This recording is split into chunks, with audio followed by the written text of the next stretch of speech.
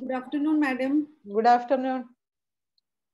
Dr. Jayasree uh, has joined. Yes, yes, ma'am. Yeah, okay.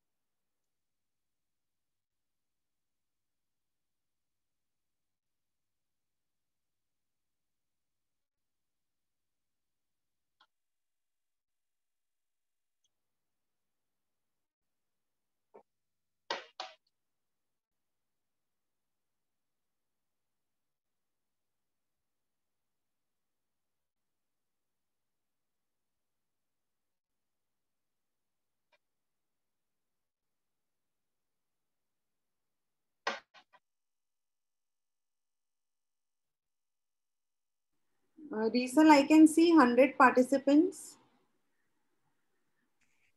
No, ma'am, uh, there are 92. I can see 100 on my PC. Uh, so, Ma'am, that is uh, the ones which are also in waiting room. So that total number shows there. okay, okay. So, Father Blaze said he's just joining. So, just look out for Father. Okay. Yes, yes.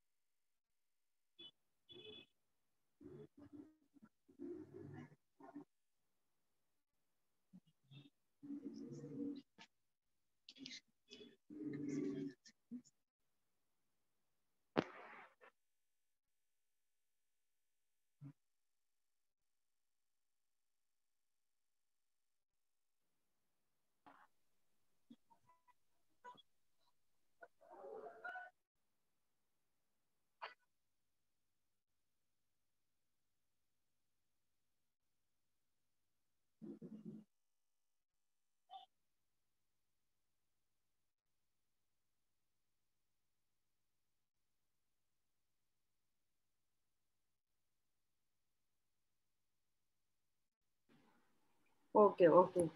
Risal, Risal, can you hear me? Yes, ma'am. Uh, see, Dr. Jayasree just logged out because she had a power cut. So uh, just let her in. She's in the waiting room, it seems. Uh, no, ma'am, I can't see her in waiting room.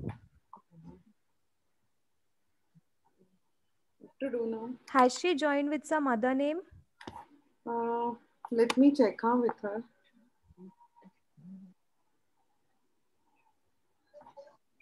I'll just ask her one second. Yes, yes, ma'am.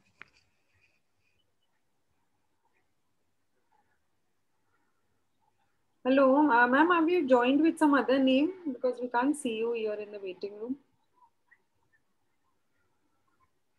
Okay, okay. She's jo- logging in again, Risal. Okay, okay, ma'am. Just check. Huh? Yes, yes.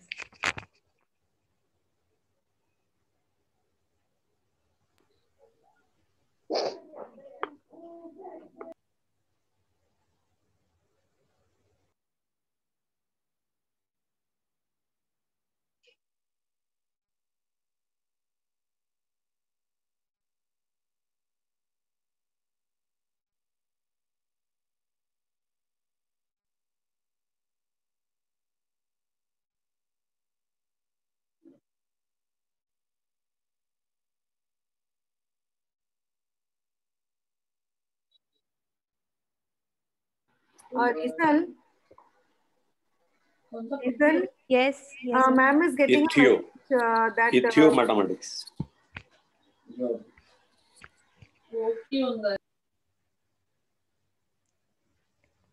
Vinny, ma'am, I couldn't hear you. Can you repeat? Yeah, ma'am is getting a this thing information that meeting has reached the maximum participant and she's not able to join. So, uh, what is to be done? Ma'am, but right now in the meeting, we have admitted only 89 participants. Yeah. So, uh, should we remove some participants and then let them join back later? Okay, but uh, I'm getting 100 here on my this thing because I think it includes I think the. uh, we should uh, remove the uh, participants in the waiting room. Because of that, maybe ma'am is not able to join the waiting room also. Okay, so Just tell ma'am that we are removing right now. So just tell ma'am to uh, log in again at the same time. okay, okay.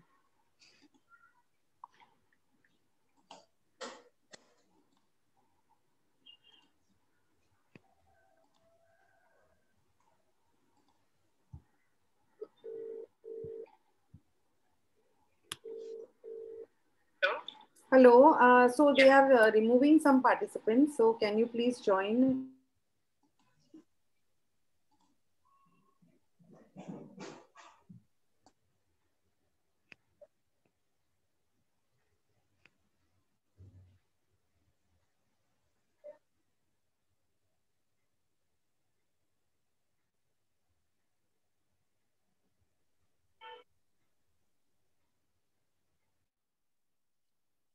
嗯嗯。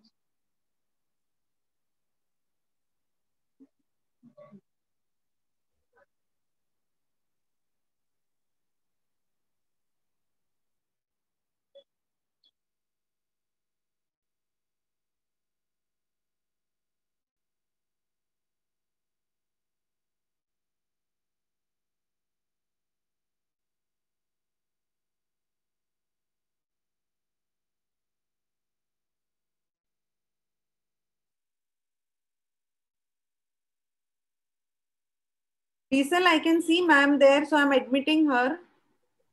yes, yes, ma'am, I admitted already. Okay, okay.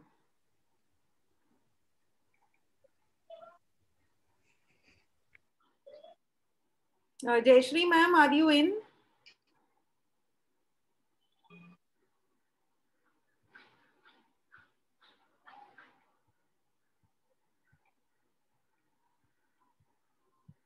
Hello, I'm Jayasree here. Yes, yes. Okay, ma'am, we can hear you.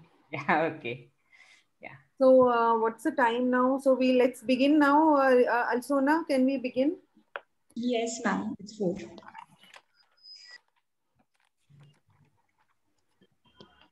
Okay, so um,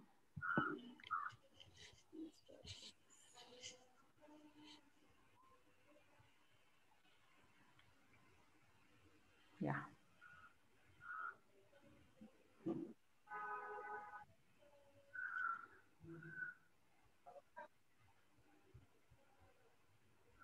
Uh, Father Blaze is there, uh, reason? Yeah, I think so. Father Blaze is there. I can see his name. Okay, okay. Hello, Father. Father is there. Okay, so we will begin now. I, I can't see his name, but Name. So Ah, maybe. Okay.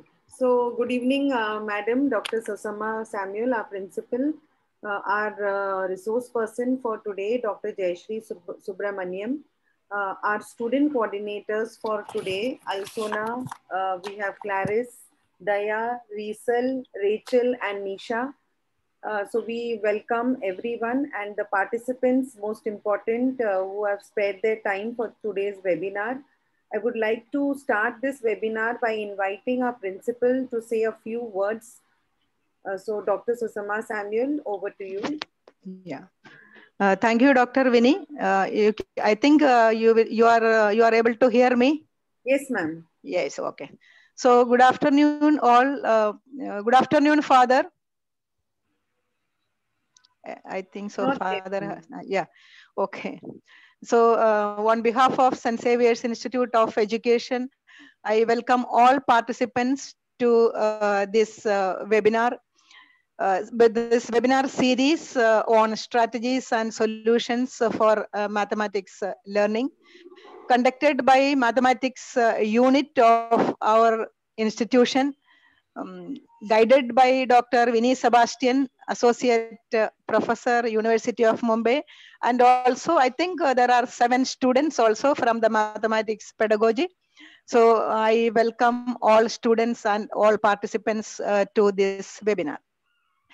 A little history about uh, this uh, webinar, and this is the uh, sixth series of uh, this uh, webinar. And the purpose of this uh, webinar series is to share mathematical um, research findings, innovations in mathematics uh, with the students and the parents and teachers of school and colleges.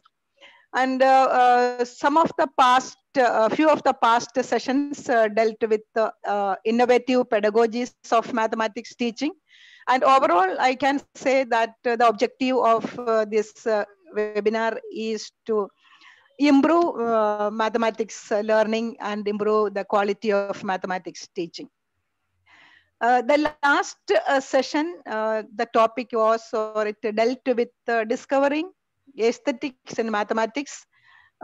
As the word says, it was a very beautiful presentation and resource person, Dr. Deshmukh brought in many um, mathematical examples from uh, which uh, I can say that from the nature, from the flowers, from the fruits, from the art form, and in ornaments, etc., etc. And today's topic uh, is also something uh, similar. I don't know my understanding. Only I'm just sharing with you all. Like, uh, is something similar to that area uh, when I when I looked upon the the title. So I was thinking that it is also something similar to that area, ethno mathematics. Uh, in Yeah. education, actually, uh, yeah, we, we use, uh, madam, we use the word ethnography uh, in uh, qualitative research, actually, uh, where uh, the researcher observe and study the real life of the people their identity, culture, etc. So, um, ethno-mathematics uh, may be uh, somewhat a new term uh, for us, and maybe the study of mathematics through culture or bringing examples in the classroom from the culture or the life of the students. So uh, I was thinking that a country like India, we have a rich culture and a diverse culture. And also we know that multiculturalism exists in the classroom. The teachers can use a variety of examples from the different the cultures of the students, to teach mathematics. But there are also, um, uh, I feel there are also challenges for a teacher because the knowledge of the culture of each student is very important. Not only the superficial knowledge, but I think deep knowledge of the culture is important so that knowledge is important for a teacher and also a teacher should have skill and plan out the uh, the activities in the class to connect to, um, the students cultures uh, with the teaching of or learning of mathematics uh, and now uh, we have seen that the world is shrinking and uh, uh, there is a global community in the classroom. The culture is influenced by other cultures. It gets diluted. And for a teacher providing examples from culture is also a challenge i suppose. So uh, these are only uh, my thoughts uh, when i looked at the topic and uh, i was I, I, th- I, was thinking that the common things now uh, like uh, which we can share in the classroom is something like um, music or something like cricket or something which all students are familiar with or we can use such type of examples in the classroom so uh, whether my thoughts are in proper direction, I don't know. But anyhow, um, uh, ma'am is there, uh, Dr. Uh, Jayasree ma'am is there. So today's resource person, Dr. Jayasree ma'am is, she is interested in ethnography means that she is interested in people. She is interested in culture. She is interested in the identity of the people. And also she is interested in mathematics and she is the right person to talk to us on this topic. So I welcome uh, uh, Dr. Jayasree ma'am to this uh, session and also I welcome all participants and uh, I welcome our manager Father Blaise and my colleagues and my and our student participants and uh, also parents uh, to this session. And now the parents are also very important because the parents are also attending the sessions and they are very important stakeholders now because they are at home and they usually now they listen to all our these webinars and seminars and all. So i welcome the parents are also to this uh, session. And all the best to dr Vinny sebastian uh, and her team of seven students. You can see the students names and photos on the screen. Uh, so um, and i have seen that from the last uh, last month's webinar series onwards, I have seen that uh, Dr. Vinny and the team is doing a small research also that is a need-based research they are doing uh, based on mathematics. So that is also a very good initiative and I appreciate it, uh, Vinny and uh, the team of students, good initiative. So all the best to Dr. Vinny uh, and all the best to Dr. Jayasree ma'am and all the participants over to Vinny. Thank you very much. Thank you, ma'am, for your encouraging words. I would just like to take you all to a journey of um, how the webinar series went for these months. Uh, just give me one minute. And uh,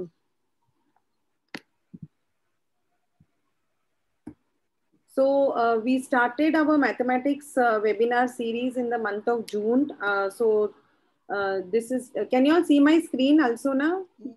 Yes, yes. Yes, Vinny. Okay, so it was a real gift to the uh, college as well as uh, mathematics uh, pedagogy unit. And it was a challenging task for all of us. Uh, so the main theme we decided as strategies and solutions for boosting mathematics learning.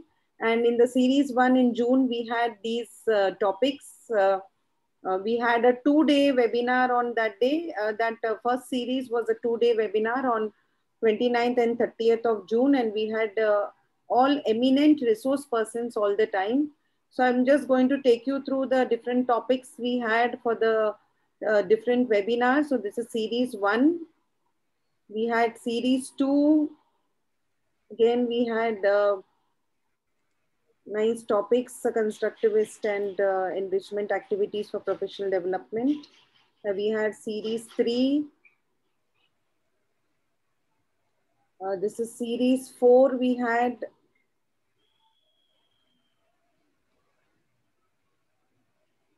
and we had the last one just got, got over that is series five.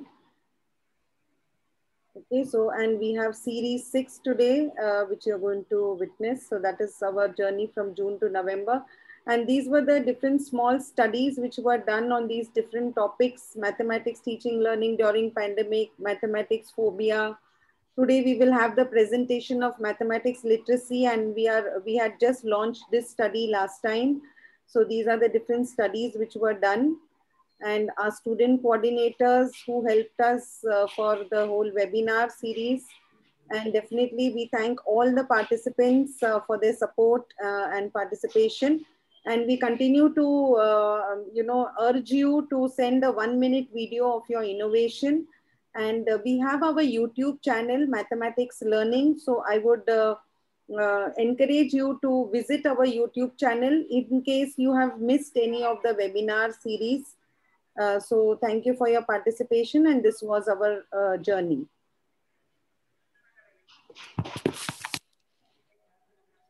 uh, so um, now over to Reason now for the introduction of the resource person, Dr. Jayasree Subramanian. Reason. Yes, ma'am. Thank you. Good evening, everyone. Today, we are privileged to have with us Dr. Jayasree Subramanian to speak on ethnomathematics. Ma'am has completed her PhD in mathematics from University of Hyderabad, and she has keen interest in gender, caste, and equity issues. After her PhD, ma'am carried out an empirical study to understand how gender plays a role in shaping the careers of scientists in premier research institutions of India. In the year 2005, ma'am joined Eklavya Foundation at Bhopal and started working in the area of mathematics education. Ma'am was a faculty member in the School of Education at Tata Institute of Social Science, Hyderabad, where she taught several courses including a very popular course called Mathematics Appreciation for BA social science students who fear or dislike mathematics. Presently, ma'am is an associate professor in the Department of Mathematics at SRM University, Andhra Pradesh.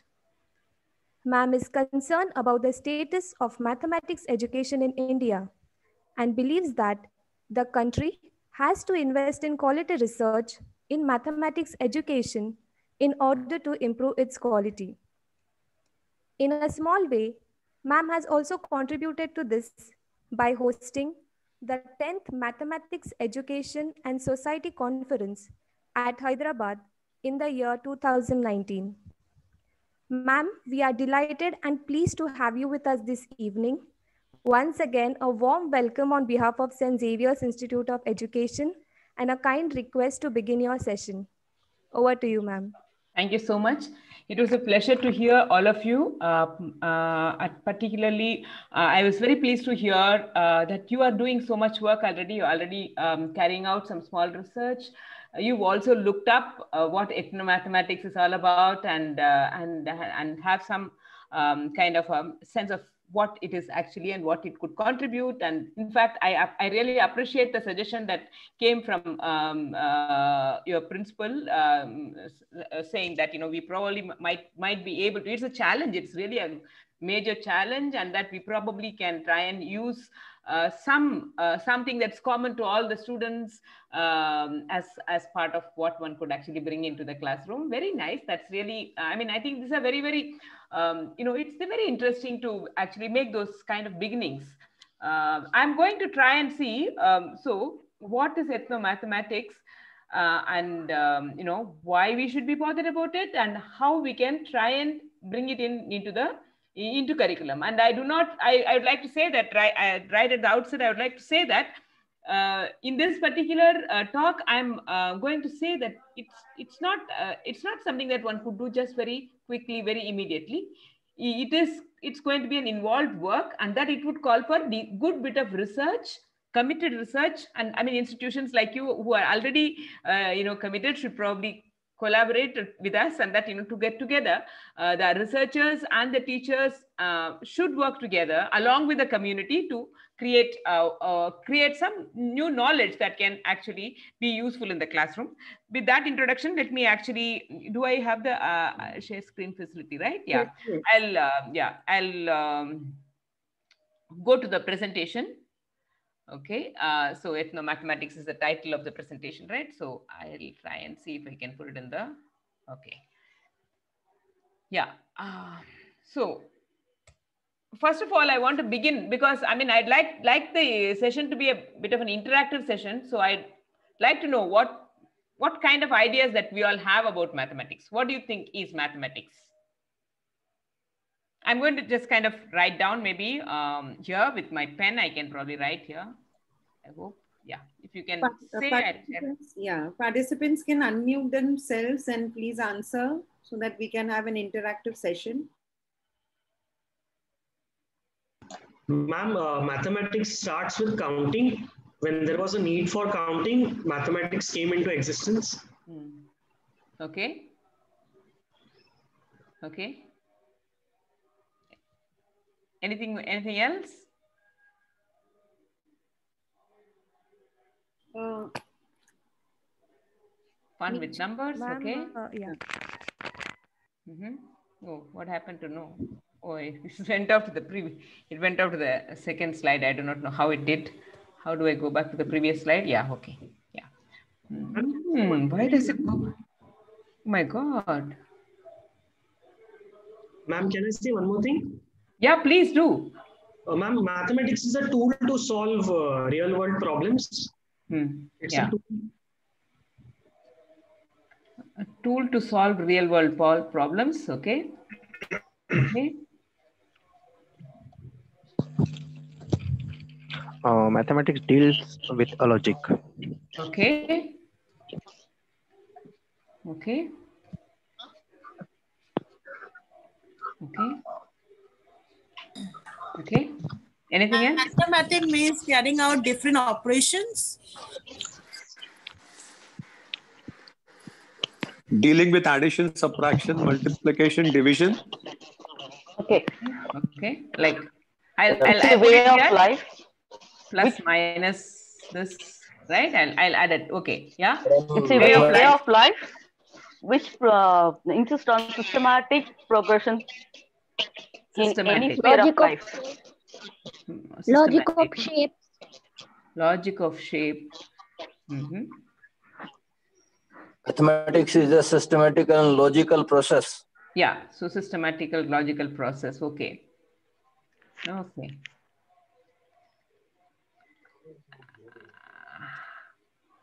Where do we, where do we actually, how do we understand math? Where, where do we learn this mathematics?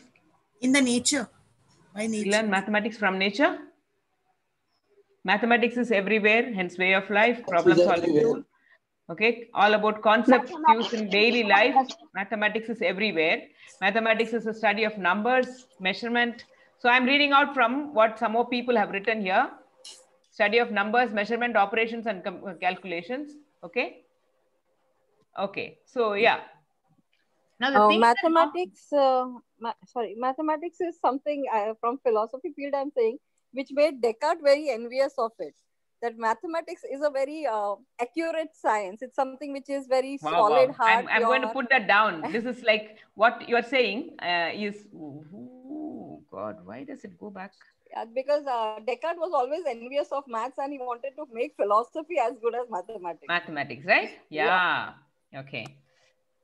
I don't know. Ma'am, there are some responses on One- YouTube. Yeah. Can you hear me? Okay.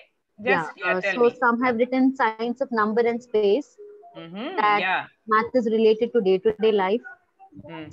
Science of sci- number and say, space. Yeah. Okay. Very good. Mm, mm, Then mathematics and nature, studying different theorems. mm. Then some have written logic of shapes, quantity, Yeah. arrangement. Right. All right. Pattern, logic. These are kind of so how do we where did we get to know these things? How did we know that? How do we know that this is what is mathematics? That's my second question. I'm going to write. So you said this is what you you all had something to say about what is mathematics. Now I want to know how did you know this? Where did you find out? Ma'am, the daily needs of mankind. Mhm. The daily Okay. needs of man- mankind. Okay. So is that where you fou- found out this is what is mathematics? Is it is that how? Uh, I mean, uh, maths is used in, I mean, so many things like uh, purchasing anything, or Right. measuring something. Mm. Maintain record. Yeah, okay. I mean, I, I, I understand. But my question is, how did you know that this is what is mathematics? Ma'am, this was For formal down to us. education. It was we learned it in school. Hey, wait a minute. I think I need to do something. One, uh, I'll have to disable an annotation for others. Okay. All right. Okay. Um, yeah. Just a minute. One. Yeah. It is the building of So this is a, so so one one one one answer was quite interesting. Formal education, right? Schooling. Yes. Yes. Schooling is one um, source of information. Yeah, it's the main source of information actually, main right? source of information. That in fact is the case. I think that's that's what I also thought. That we learn what is mathematics from going to school, right? Yes. Yeah, we actually we started right from the uh, childhood. We started from yeah. Someone said it started with counting, right? Right. And each and every sphere of life, we use the measurement, everything Right. going on. Mhm. But while we uh, only when we introduce the child to a formal education, Mm-hmm. so they will be writing, uh, learning it quite, no, no, what to say, in a systematic way. Mm-hmm. right from counting then Mm. going for uh, uh, step numbers then moving to operations Mm-hmm. Mm-hmm. Yeah. Right.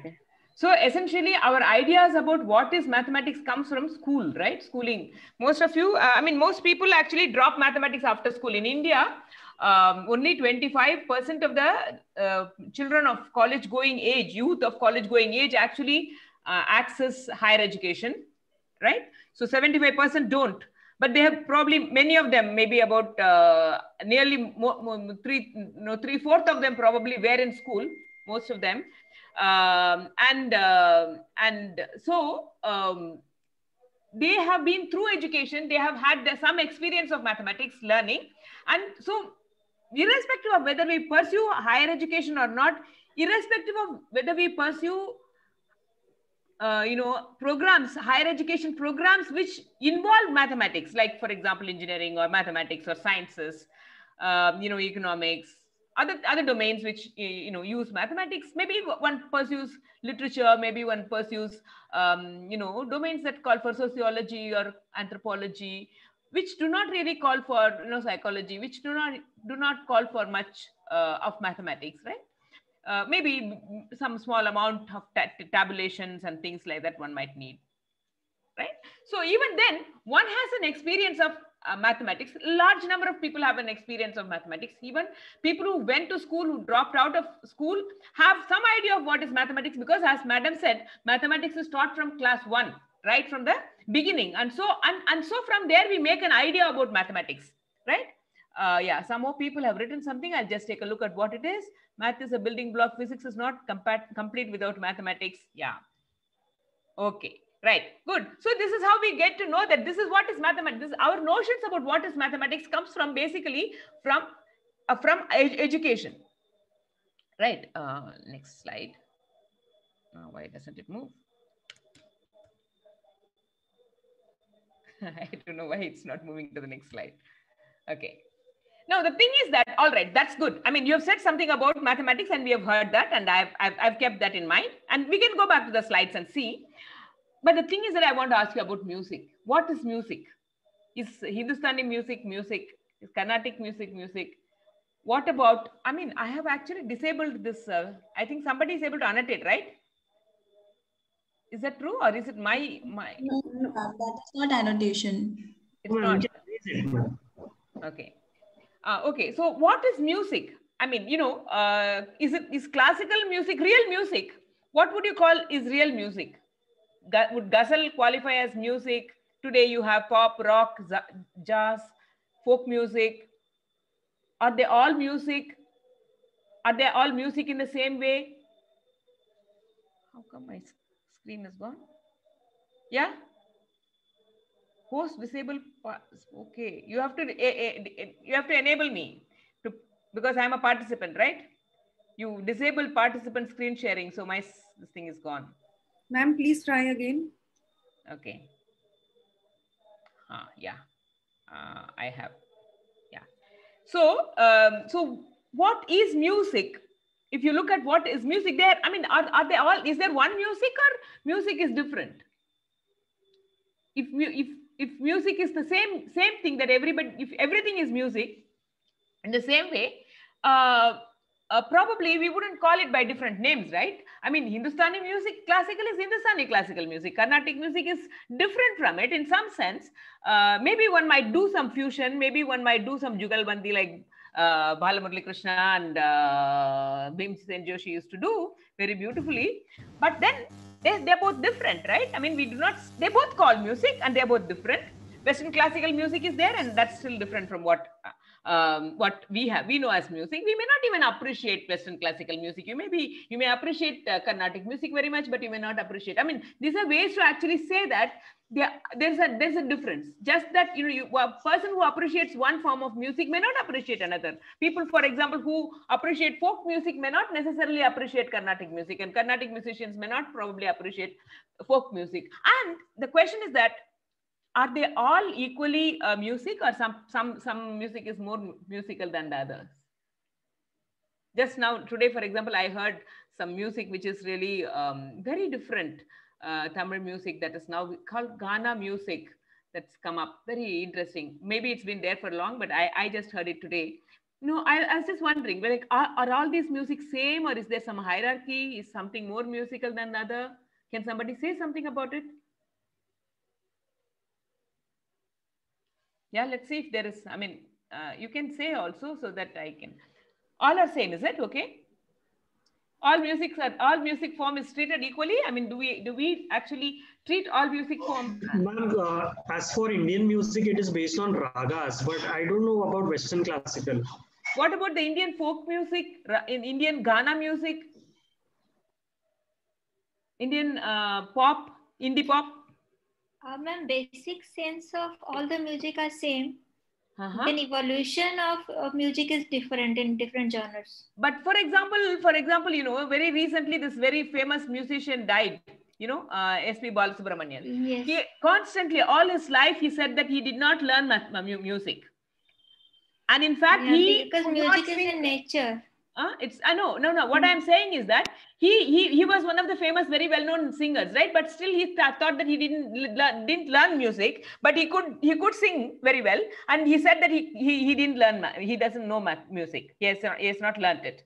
Now most of the people who are probably you know singing in uh, uh, uh, you know film music have not learned classical. You said that all music is got the seven uh, seven swaras or whatever you said something sometime back right? But but some people have not learned that.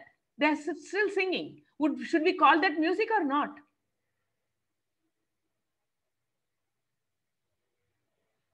What we ma'am actually even if you don't consider whether they are made up of seven notes they are made up of the seven notes. They are made up of seven notes? If we uh, study the science of it we have to accept the fact that they are made up of seven notes and they are based on ragas. We, we can. I mean, those of you who actually know math, I don't know music. Those of you who know music may actually be able to decode it and fit it within to the within the seven uh, seven note uh, scheme yes, and explain yes, it. Yes, Is that what you're saying? Yeah. Yes. Yes. Yes. Okay. All right. So, in some sense, what you're saying is that uh, they all music, Western music, Eastern music, classical music, cl classical, Hindustani, ghazal, everything is made of one, seven, What's just those seven notes and that uh, give me a music i will decode it and say. That's what you're saying. Is that correct? Yes western music you will be able to decode it yes right? Yes, yeah everything. That's that's fascinating very interesting. Yes. okay. So the thing is that high there's also hierarchy. There's also high and low in music. That cannot be that i mean the, the very fact that um, film music pe people who have not learned uh, film I mean, music systematically are able to sing film music, but very rarely they are able to allow to sing Carnatic or um, Hindustani. Says shows that there's some kind of a hierarchy. Yes, there's some kind of a hierarchy there. Some yes, music is more considered more, I mean, not not very easily reachable by ordinary people, right? Yes, yes, ma'am. Yes. But and, and and people sing. Almost everyone sings, right? Somewhere or the other, right? Yes. Yeah. Right. Okay. Okay, so um, here I, I let, let, I'm going to uh, go, go to ask one more question. Uh, next slide. How does this move? Why doesn't it? Why am I not able to? I don't know this. Uh, I think I I probably escaped from the. Yes, Mm, mm. I don't know why this is not moving.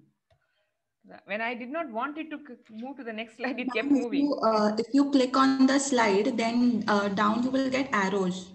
On Oh, bottom left, you will okay. arrows. Okay, okay, okay, right, right, right. Okay, yeah, yeah, right. Okay, so again, the same question comes to literature also, right? I'm from Tamil Nadu. I say Ramayanam, Mahabharatam, Silapatikaram. We consider these as literature. There's lot, I mean, lot, lot we have. We have huge number, amount of literature. Then there's literature up to today, new li- literature is being created. The, we, we, those of you who studied English literature would have studied Shakespeare. I know somebody who holds Shakespeare as the ultimate person in English literature. I mean, like everything seems to be available for that person within Shakespeare. Everything from the past, present, future, everything that the person can read from Shakespeare. Then there are others. Now, uh, then they talk. People talk about literary quality. hmm? And there are also a whole lot of new genres that have come into literature. So you, for example, in India, you have um, women's literature. Women, women have not been actually writing for long. Then women started writing. Is women, ri- women's writing actually literature or not? That was a question at some point of time. Now there are also a whole lot of other regional writing that's there, and there, there's also Commonwealth literature. You know, Commonwealth literature referring to certain regions, a certain uh, certain location. So uh, in, in in all these things, I mean, I'm asking some kind of a question which actually um, is linked. Is linked. So uh, the question, the thing that I'm asking is that you know we as people, most of us who are actually educated, right? We are the ones who are actually into this whole questioning of trying to understand what we are the ones who are actually talking about it. I mean, at least we only know of us talking about it. We, our interaction, my interaction on these matters with people who have not had the opportunity to have education is minimal. So I really do not know what they think about these questions. I'm only talking about us and what we think. Hmm? We we have certain understanding about what is music, what is literature, what is uh, mathematics, and these things we learned by and large as a result of, as a consequence of our education, right? We have, and we also know that there are differences within. And there's a there's a very important question here. The question is, who makes these decisions about what is mathematics, what is music, what is literature, uh, and what is not? Who decides to include and exclude? Who has who decides these things? Uh, the general public. General public, you and I can decide what is literature. I mean, like what? You might appreciate some literature, like right? I might appreciate some literature, but uh, but do I have um, the power to actually say that? Well, this is uh, to get others to accept that this is literature.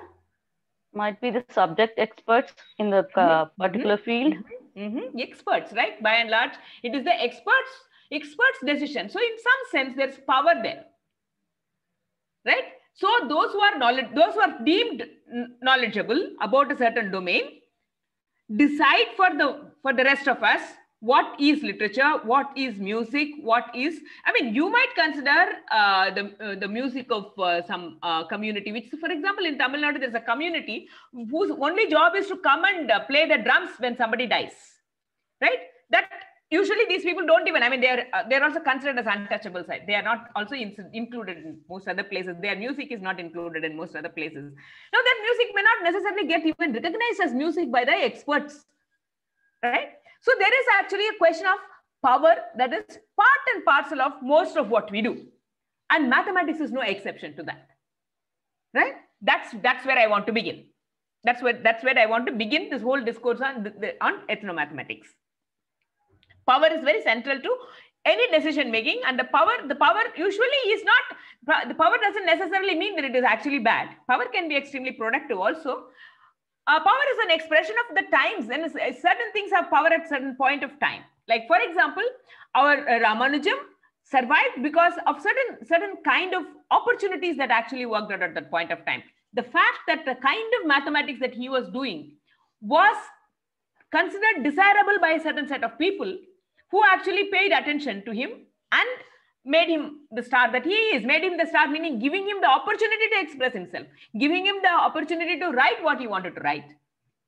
Right? That itself. I mean otherwise he could have died in some little corner somewhere writing all the all the stuff that we wrote he wrote. But we would have never known that here this man actually knows something. Even even G.H. Hardy, when he looked at his stuff, it, he, the only reason we, why he thought he must be knowing something is that if somebody did not know what he was saying, he couldn't have written the kind of stuff that he is writing. He, he, he wasn't sure whether what, because Ramanujam hardly ever gave proofs of most of the things that he said. He probably did not have a very, very, um, re, uh, you know, he was not, uh, he was not rigorously trained in mathematics, in the way, in Western mathematics, right? He, that doesn't mean that he belongs to the Indian tradition. He, he actually is somehow, uh, he created mathematics. He was a creative mathematician who was not really properly trained, formally trained, who had no notion of uh, writing proofs for most of the things. And the statements that he wrote were so esoteric that, that uh, Hardy thought that if one did not really uh, know what one was saying, one wouldn't be able to write something like this. So he gave him a chance, right? So it's a time space that actually allowed a genius to be recognized. A genius might exist, right? Genius may, may, may go unrecognized. So hard, Ramanujan was lucky in that sense of the time. And that the, the, the, the, thing is that you must look at the time, the time and the space. So now if you come to mathematics, is there only one kind of mathematics? Or are there many different kinds of mathematics? We looked at examples of music and literature.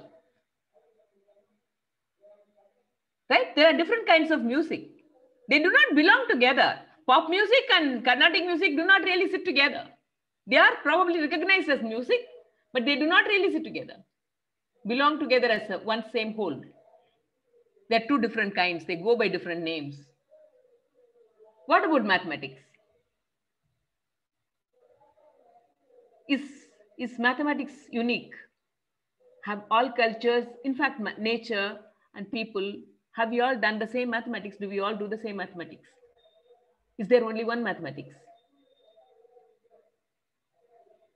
Is there some answers? Some are people certainly not. There are several kinds of mathematics. Yes, arithmetic, algebra, geometry. There's uh, yeah, that's right. That's all part of mathematics. That they are not considered as. There are different branches of mathematics, but mathematics is universal, is what somebody is saying. But uh, Pragya Patnaik says that certainly not, meaning like there are different kinds of mathematics, is it?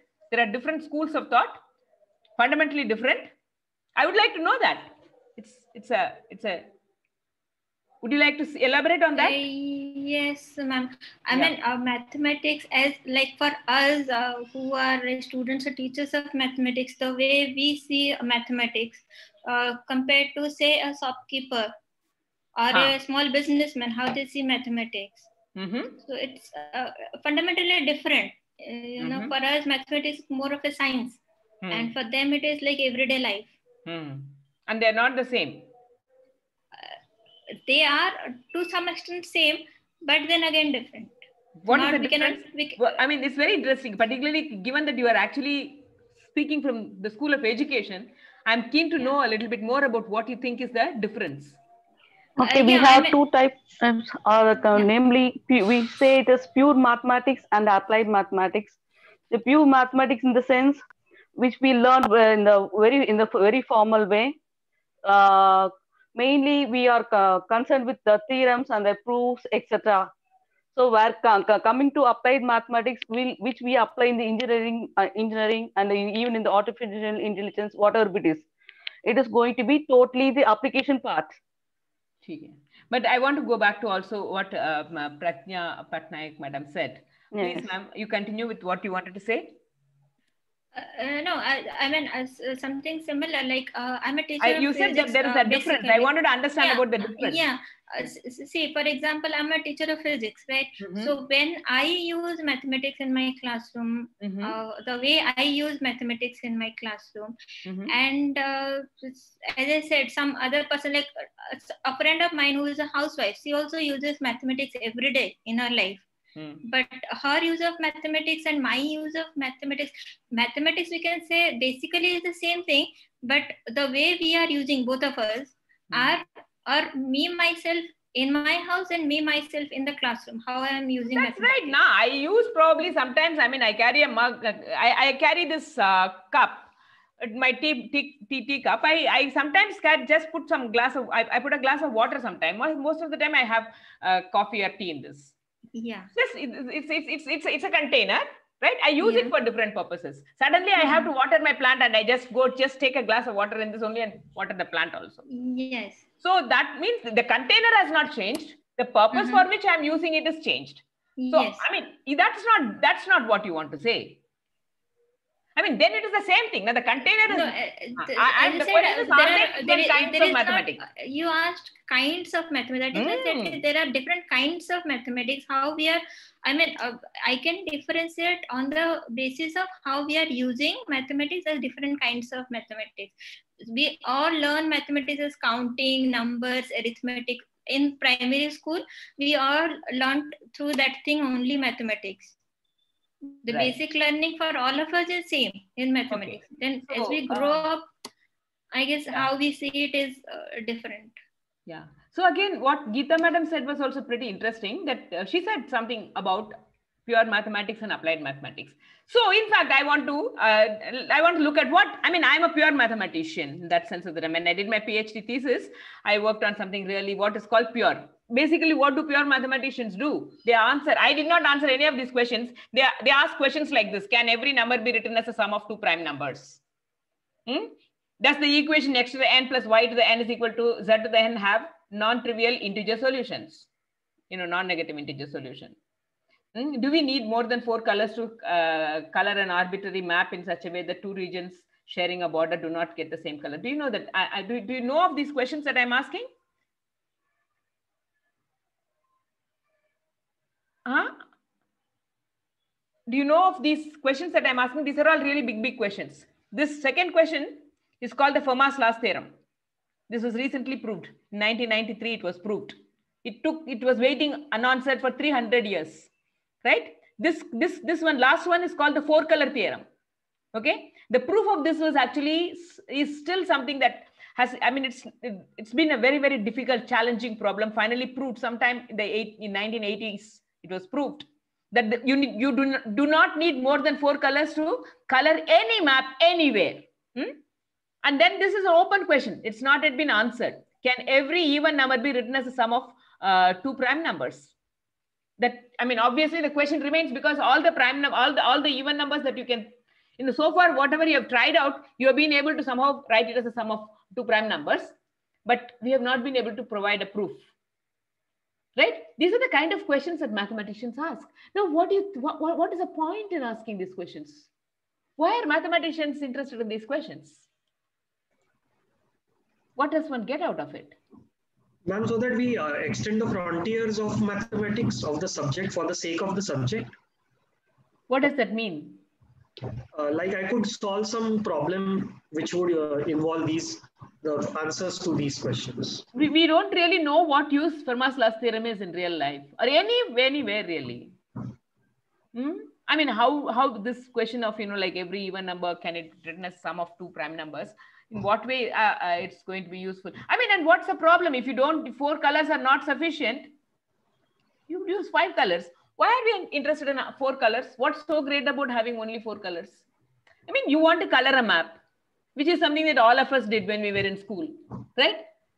You just needed to take one more color, right? Why do we worry about the four colors are sufficient or not? And, and, and, and a huge theorem has been solved, and then it's it's a it's a it, the theorem is I mean it's a famous theorem. Four color theorem is a it's a famous theorem. You have a Wikipedia page on that. And this is one of the most fascinating theorems. And you must note that all the things that I have written are, are actually some examples of mathematics that actually can be written in a language that is understandable to common people. Otherwise, some zeta function, eta function, blah, blah, something, you know, some affine variety, etc. We use terminologies that are absolutely i worked on something called p-adic numbers and i looked at something called uh, some uh, some representations admissible representations i mean nobody will understand what I actually worked on, right? But the thing is, for, so I'm, I mean, luckily there are at least a few statements that we are able to make that everybody can. I mean, a school child, school-going child can actually understand these these statements. All these statements can be understood by uh, anybody, almost anyone. Even I mean, this this question, the four-color problem can be given to anybody. Even if you have not gone to school, you can actually consider this problem. I mean, you can try to actually see, try and see whether actually you you you can um, four colors are sufficient. or whether you really need, you can actually produce a map that needs more than one color, more than four colors, right? Yeah, so I mean, why are mathematicians interested in these kind of questions? What is mathematics and why are mathematicians interested in uh, uh, interested in these kind of questions? Is it because it's useful? This is this is one kind of mathematicians. They are interested in it. For them, you know, they kind of, I mean, I am allergic. If somebody tells me pi is 22 by 7, I feel allergic. I feel no. The first question I ask is, okay, can, can you give me an example of a number that's both rational and irrational? I know.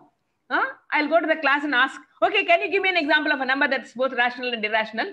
Students will say, yes, madam. I say, okay, what? So pi. Why? Because pi is 22 by 7. I said, no, pi is not 22 by 7. Pi is approximately 22. Approximately 22 yes. by 7. Yes, see, yes. see, see, for me, that's very important. Pi Yes, is not 22 by 7. Right? For an engineer, it is not, it's not a problem. For a physicist, it's not a problem. For me, it's a problem. You can't say that pi is 22 by 7. You can only, Yes, you have to say that pi is approximately equal to 22 by 7. If you forget the approximately, I will actually catch, you and say that, no, see, 22 by 7 is a rational number, pi is an irrational number. Yes, ma'am. Yes. Right? All these things that, I, all these fuss I will make. Right? Now, what is it? What is it that mathematicians are interested in? What are they studying? And in what way are they studying? They are very accurate about what they are speaking. They are very precise about what the words that they use. And why are they doing this? To per- perfect the uh, body of knowledge. And for what, for what end? so that everything is defined uh, properly. So, you, you know, the thing is that the actual thing is that mathematical knowledge, mathematicians are basically studying number and space and other mathematical objects like topological spaces, uh, affine varieties, da, da, da, whatever. I mean, like, you know, I looked at something like p-adic numbers. They, they are looking at certain objects, which, what kind of objects are they? How are they related to the real world? Are we actually addressing, is, is, is the object of a pure mathematician addressing any of the real world issues? The thing is that no, it is not.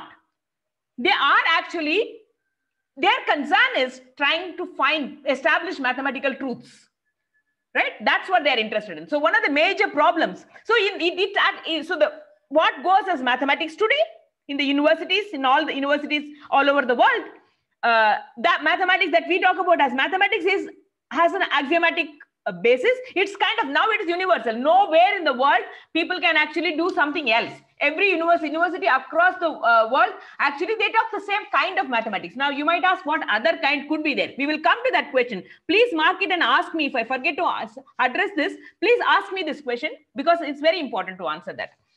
So we, we, we learn similar kind of stuff almost all over the world. And this kind of mathematics is axiomatic in nature. And it actually the end of this mathematics is actually finding truth right? You are interested in establishing mathematical truths Hardy, G.H. Hardy, the famous mathematician, said that, see, we, we don't study mathematics because it is useful. We study mathematics because it is beautiful. We actually see beauty in mathematics, aesthetic values that mathematics use, not the application. We say, that, okay, somebody may apply. apply. I'll come to the, Um, I'll come to a quote of his, right? Now, on the other hand, um, yeah, here is a um, here is the thing which which I can go to the next page. Yeah. So the one kind of mathematician, the pure kind, are the ones who are interested in exact knowledge. I mean, this statement actually, this word came from somebody. One of one of you said exact knowledge. Yes, quite pleased. Yeah, this exact exact knowledge about what? About numbers, geometrical objects, and other mathematical uh, uh, uh, objects that one can think of. Uh, they are not at all worried about application. Hardy says this. We have concluded that trivial mathematics, that that the trivial mathematics is, on the whole, useful and the and the, and that the real mathematics on the whole is not. And he obviously wants to pursue real mathematics right? Not trivial mathematics. So for him for him well yeah if you can i mean we are not bothered about application of mathematics. We don't care right? We don't really think about application. We are pursuing mathematics for the, as an end in itself. We want to know the mathematical truth. It's actually extremely important for me to know whether a certain even number can be written as a sum of two prime numbers or not right? That's what i'm bothered about again actually. And people can kill themselves over from fermat's last theorem has a history of a whole lot of men who killed themselves uh, because they could not. I mean they thought that what the hell what's the point in living if I cannot solve something like Fermat's last theorem, right? And that problem remained open for 300 years. And at the end of the 20th century, it used the most sophisticated mathematics that has been developed till then uh, to finally find a solution for a problem that was written 300 years back by uh, a lawyer who wrote in the said that I, I, have a truly marvelous proof which the margin of this uh, book this book, this book is too contain small to contain right? 300 years of torture to solve a problem which we, we are saying Hardy says that we are not interested in whether it's useful or not. We are interested in just mathematics as for its own sake as one of you said we are interested in solving mathematical math, uh, you know answering questions in mathematics because this is a pursuit of truth not not application. Now that's one kind of mathematicians. And these are the people who are actually called mathematicians right? They are called the academic mathematicians the people who actually call real mathematicians real real mathematicians pure mathematicians right? The unpure impure mathematicians what do they do? There's no impure mathematics i'm just joking. Uh yeah ah Okay, so so there are some more comments. I'll go back to this previous this side this uh, thing. Okay, so the, now the real world we live in uses a lot of mathematics, physicists, statisticians, probabilists, engineers, computer scientists, economists, accountants, financiers, even biologists seem to need a lot of mathematics now. Everywhere people are using mathematics. So but they use mathematics which is different from the kind of mathematics. They do not actually i'm teaching mathematics for engineers now. I'm teaching linear algebra for engineers. Their their understanding of mathematics and my understanding of mathematics so different. I you know they they kind of they have a very different approach to things for them approximations are fine so i i i tell them okay now solve these linear equations and you get these solutions check put it there check whether they actually solving the equation now, what they do is they commit a mistake. They get a slightly wrong answer, but then they will substitute and they'll get approximately equal answer. They'll say, yeah, it solves the equation approximately correct. I said, no, no, I'm not tolerating approximation. I want that these, these X, Y, and Z should be exactly solved. No, I don't want to say that, okay, it is giving you 7.9, but it's uh, 7.8 or 7.7 and, and you have to be getting 8 and no, it doesn't work. It has to be 8 and if you give approximately equal, no, I will not agree. Left hand side is approximately equal. Approximately equal to right hand side will not work for me. I want an exact answer. They, they, they don't worry about it. They're approximately equal. Chalega. Their world is like that. They actually look at, they actually, in fact, the, what is most fascinating is that with this approximate mathematics, they design tools.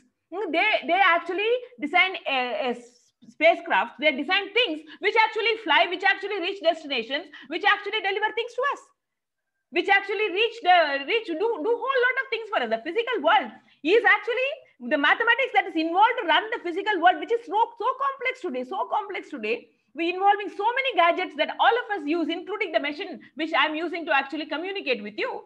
These are all designed by non-pure mathematicians, not the pure mathematicians. We don't know. I, I mean, we pride ourselves in saying that, oh yeah, I mean, I don't use the computer as anything other than a text, I mean, just a text editor. I don't need the computer, right? We do pure mathematics. So the, the not so pure mathematicians are doing, run, doing another kind of mathematics with which they are running the world as high powered as they are running it. Hmm? So that's a different kind of mathematics. It's very important to take this, this difference in mind, right? This is like classical music and some other music. They are, they are, you know, they are different. Epistemologically, they are different. Epistemologically, these two approaches to mathematics are different. They are not the same you know, in, in, in, in a university, when you say that two elements, two objects are same, they, are, they have to share a same epistemological concern. So applied mathematics or um, engineering mathematics and pure mathematics do not have the same uh, objectives to achieve. They do not use the same uh, approach. They're, they're, they're, we fuss about so many things. They don't fuss about several things. Because in their, they will never encounter the kind of difficulties that we encounter because we are stuck within an axiomatic framework. They're not. They actually deal with things that work right? So we are actually using mathematics sometimes use the same words also but they will also use vector spaces we will also use vector spaces. But we we we uh, live in very different worlds we are not doing the same kind of mathematics that's a point that i want to actually make and next i want to move on to asking questions about okay at least we talked about two different kinds of mathematics the mathematics that the mathematicians do and the mathematics that others do those who are not mathematicians do Hey, where is the where is the pointer? Yeah. Okay. So what are the kind of mathematics is there? So as madam said, everyday mathematics is there. Street mathematics is there. Street mathematics is what? Street mathematics is what you actually encounter um, when you meet a vendor. I had a student who did his MA, MA dissertation with me, and he went around interviewing vegetable vendors, illiterate vegetable vendors in uh, in Hoshangabad. So one problem that he actually solved was very interesting. One, he, I mean, there were quite a few problems, but this this one thing that I repeat to everywhere. So he asked uh, uh, this vegetable vendor to ask, tell tell him, uh, you know, if you have 500 rupees and share it amongst three people, how much will each one get? Can you can you quickly tell me the answer without using a calculator? Without using any any technological tool, can you please tell me the answer for this question? 170, ma'am. You have 500 rupees, three of you share. Yeah, nearly 170. 170, roughly, huh? approximately, right? You're yes. Approximately. Why have I come out of this? Um, yeah. Approximately uh, 170, is it? No, he, he gave an exact answer. Somebody else will give me an exact answer. 168. 168, exactly? Uh, no, 501 divided by 3 I did. You did, I mean, you were by hand? No, no, mentally 501 divided by 3. Oh, oh, you, you mentally you did, mentally? 501 yeah. is divisible by 3, that is why. Ah, yeah, so you did it mentally. Yeah. Okay. So he did it very interestingly. He answered this vegetable vendor. He said he actually gave the answer 166 rupees 50 paise. So my student was quite impressed. He said, How did you find? He said, I mean, I'll slip into Hindi bit. I, my Hindi is very bad, but I'll still sit, slip into it and I'll say. So he said, first you give everybody 150 rupees, three of them, right? You give 150 rupees to three of them. So you have spent 450. You are left with 50 rupees. Give everybody 15 rupees, right? You have spent 45 rupees. You are left with 5 rupees. You give everybody 1, 1 rupee 50 paise, right? So 150 plus 15 plus 1 rupee 50 paise. He did all that in his mind quickly and then he said, okay, you will be left with 50, 50 paise for which they get apparently three BDs and so it's equally divided. Hmm? But 166 rupees 50 paise he, he got this vegetable, illiterate vegetable vendor in no time. And this is our experience. All of you will agree when we go to buy vegetables on the road, the street, street fellows, they all do the computation much faster than we can do actually, right?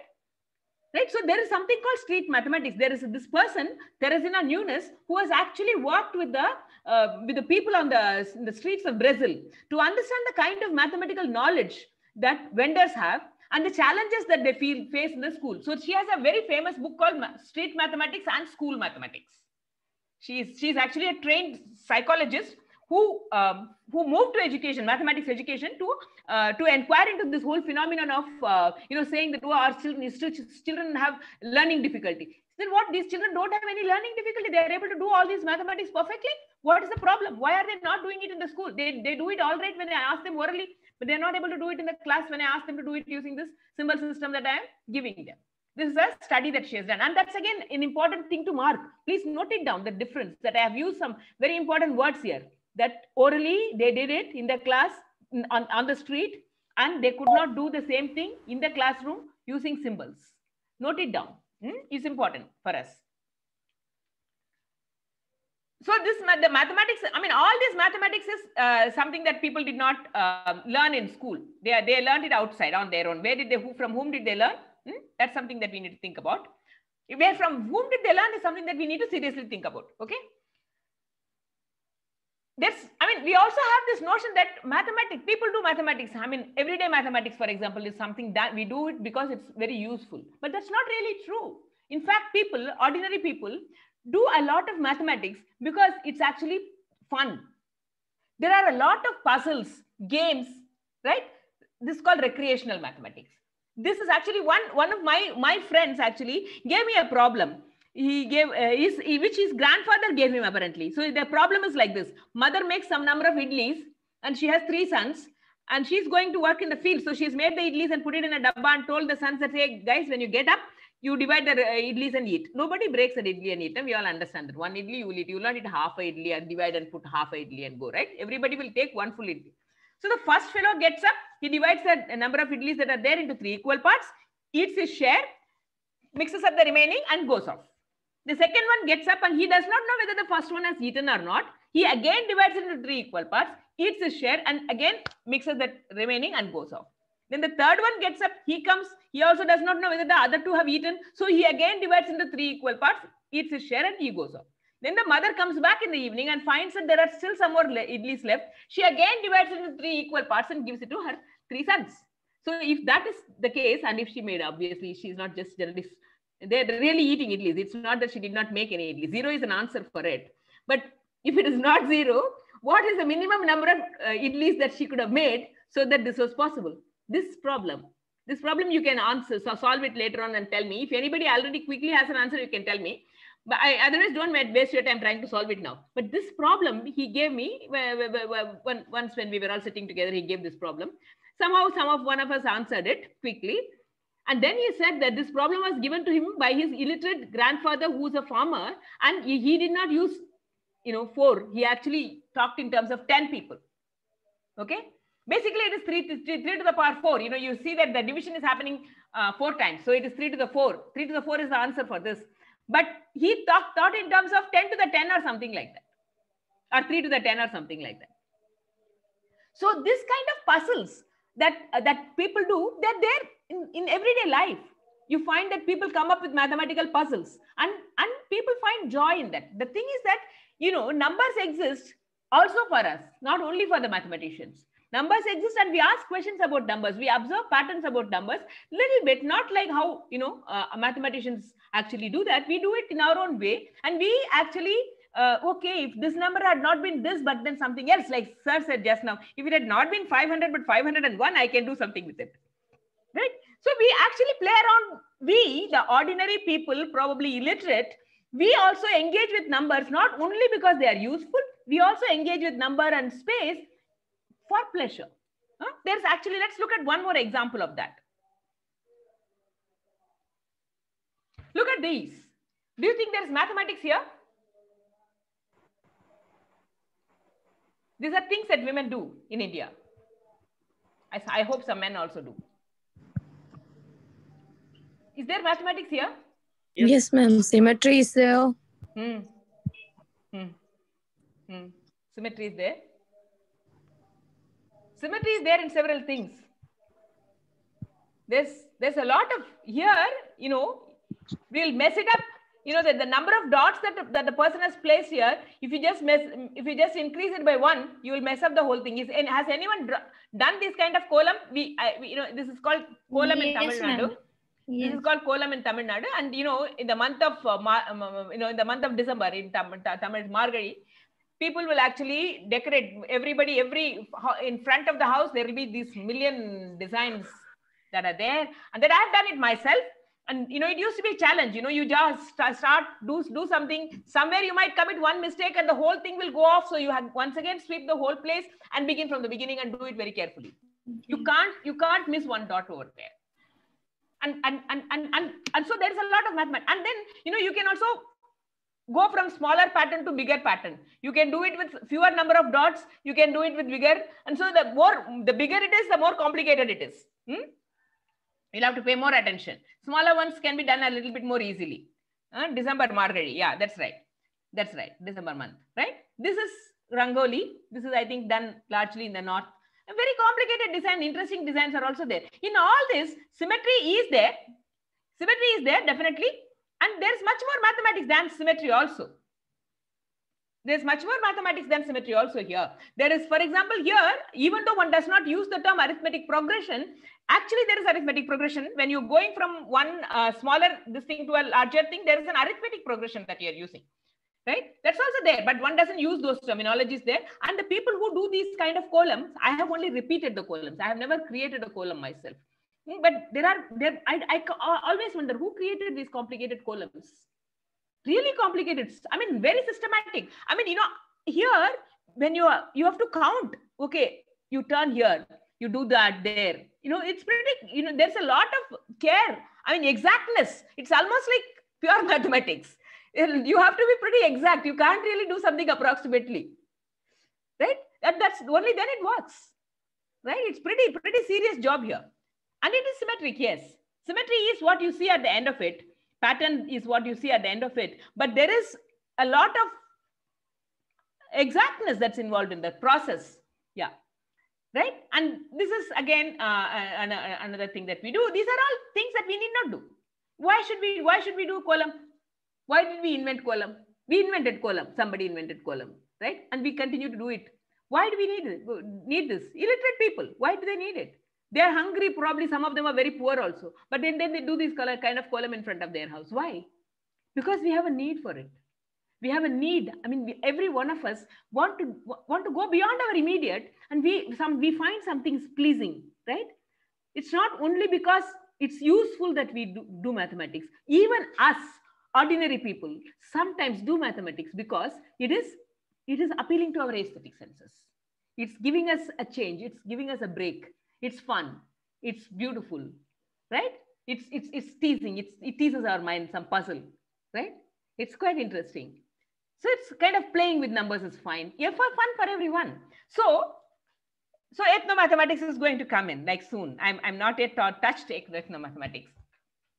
So let's sum up with a remark. There are different kinds of mathematics. They are different because they do not actually, they do not, they are kind of, they may have similarities like a tiger and a, a cat.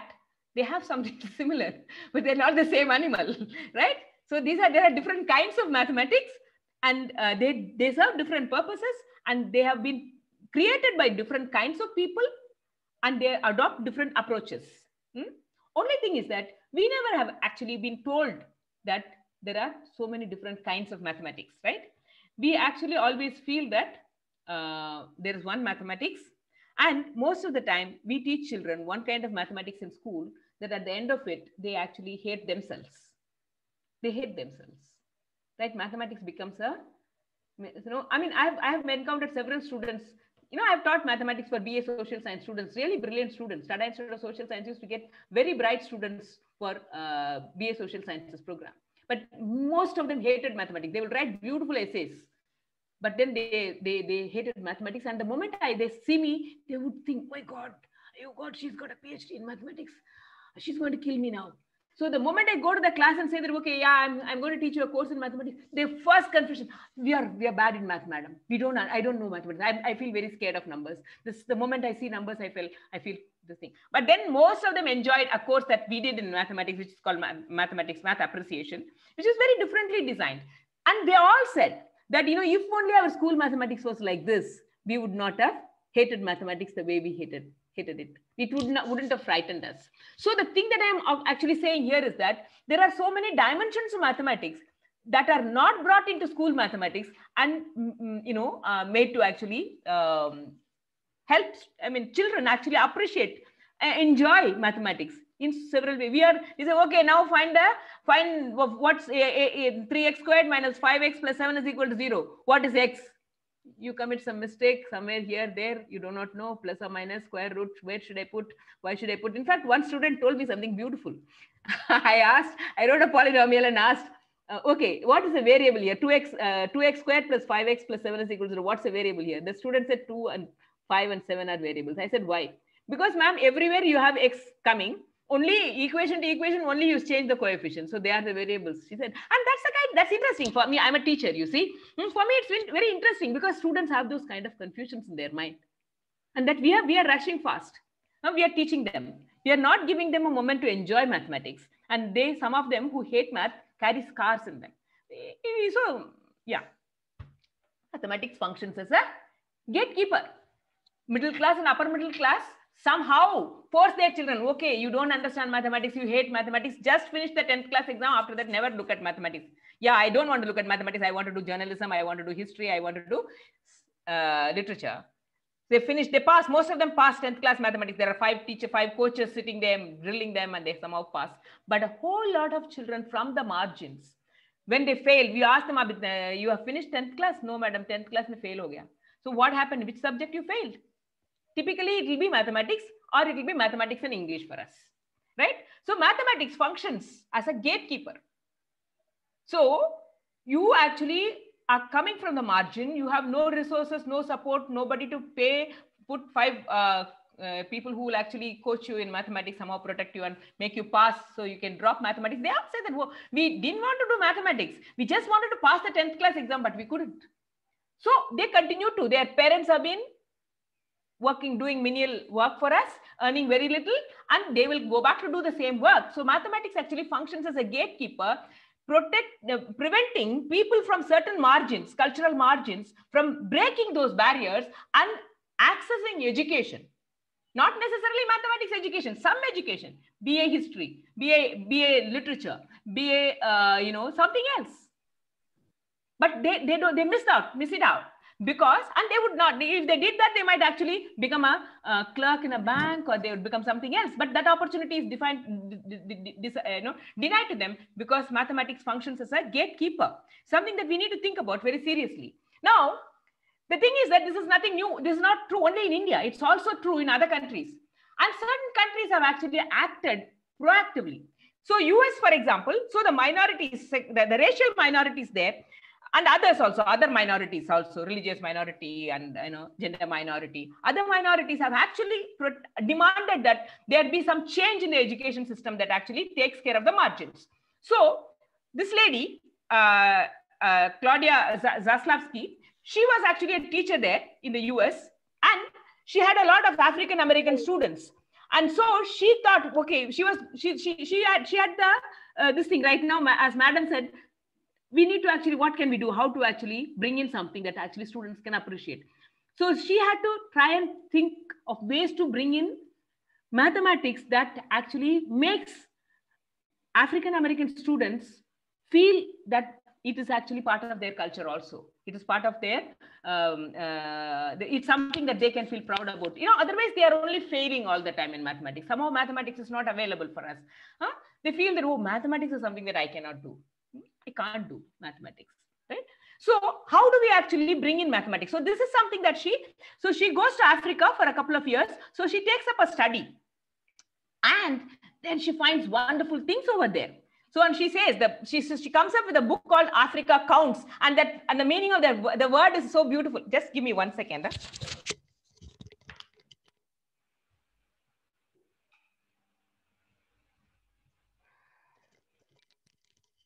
So uh, the, the, the, the, statement is really very interesting. Uh, Africa counts is saying that Africa take and no take note of Africa, right? It's not just like Africans know to count. Of course, they know to count.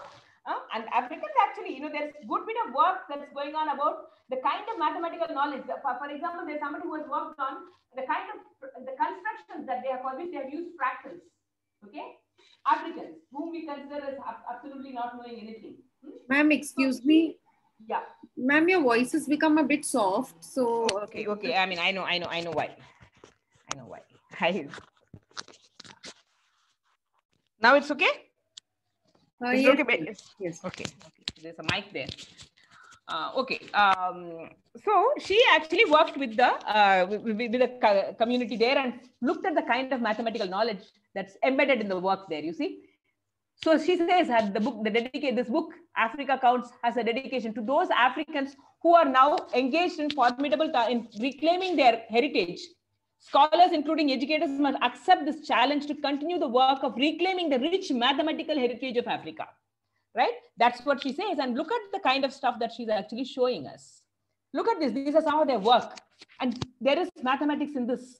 And there's mathematics in this. Look at the conical shape of the uh, constructions. Huh? And these, and then, I mean, this is just the beginning. Huh? She was one of the first people to actually begin to look at this. Now people have looked at, and I told you just now, some time back, that actually they, they even found that the constructions actually use fractal geometry. Okay, so this is a this is one of the first beginning. This this is a beginning actually to look at the kind of knowledge. Then there's somebody looked at. She also looked at uh, other cultures. I mean, I mean uh, in, in Africa, not only yeah. So she found that they have this kind of this is this is this is what they have. Angolan sand drawings they are called like our kolam. na? This is exactly like our kolam and men do it apparently. Hmm? Uh, so look at something that's common between them and, and, and us. We, we didn't didn't even know, and that's mathematical. Hmm? So she was a teacher. I, I told you, so I probably kind of skip this so that I can save uh, time. Then there's another person who actually looked at.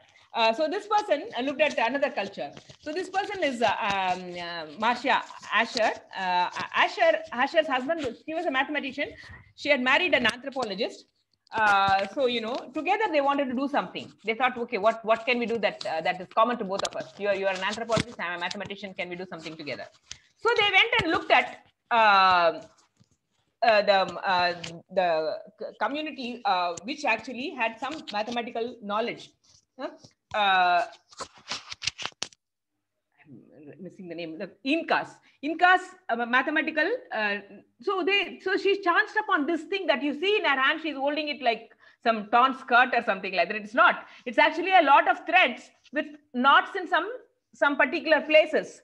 So this was actually, so, you know, she finds this tool and she's trying, her, all her time was spent in trying to understand what is this tool? What is, what does it do? And she says that in the process, she understood their culture and her husband actually, who's an anthropologist, began from the other end. She begins from the mathematics end and her husband begins from the other end and they meet and they actually try to understand. So this is a very sophisticated tool that the Incas had, had developed. And, you know, they were all wiped out their culture by 16th century they were not there i mean there was no use of these kind of tools i, I don't think that they are probably anymore in use which if there had been anybody who, who could explain she would have talked to them right this uh, this this is a this is a this is like a calculator it's not just a it's a it, it has a double thing it stores numbers and also it, it also enables you to do computations with it right so it's uh, so she comes up with a book called the code of uh, Quipus and uh, she has, I mean, rest of her time, she has actually looked at um, a lot of mathematics that they have, they have done. Uh, yeah, so the next one. Okay, okay.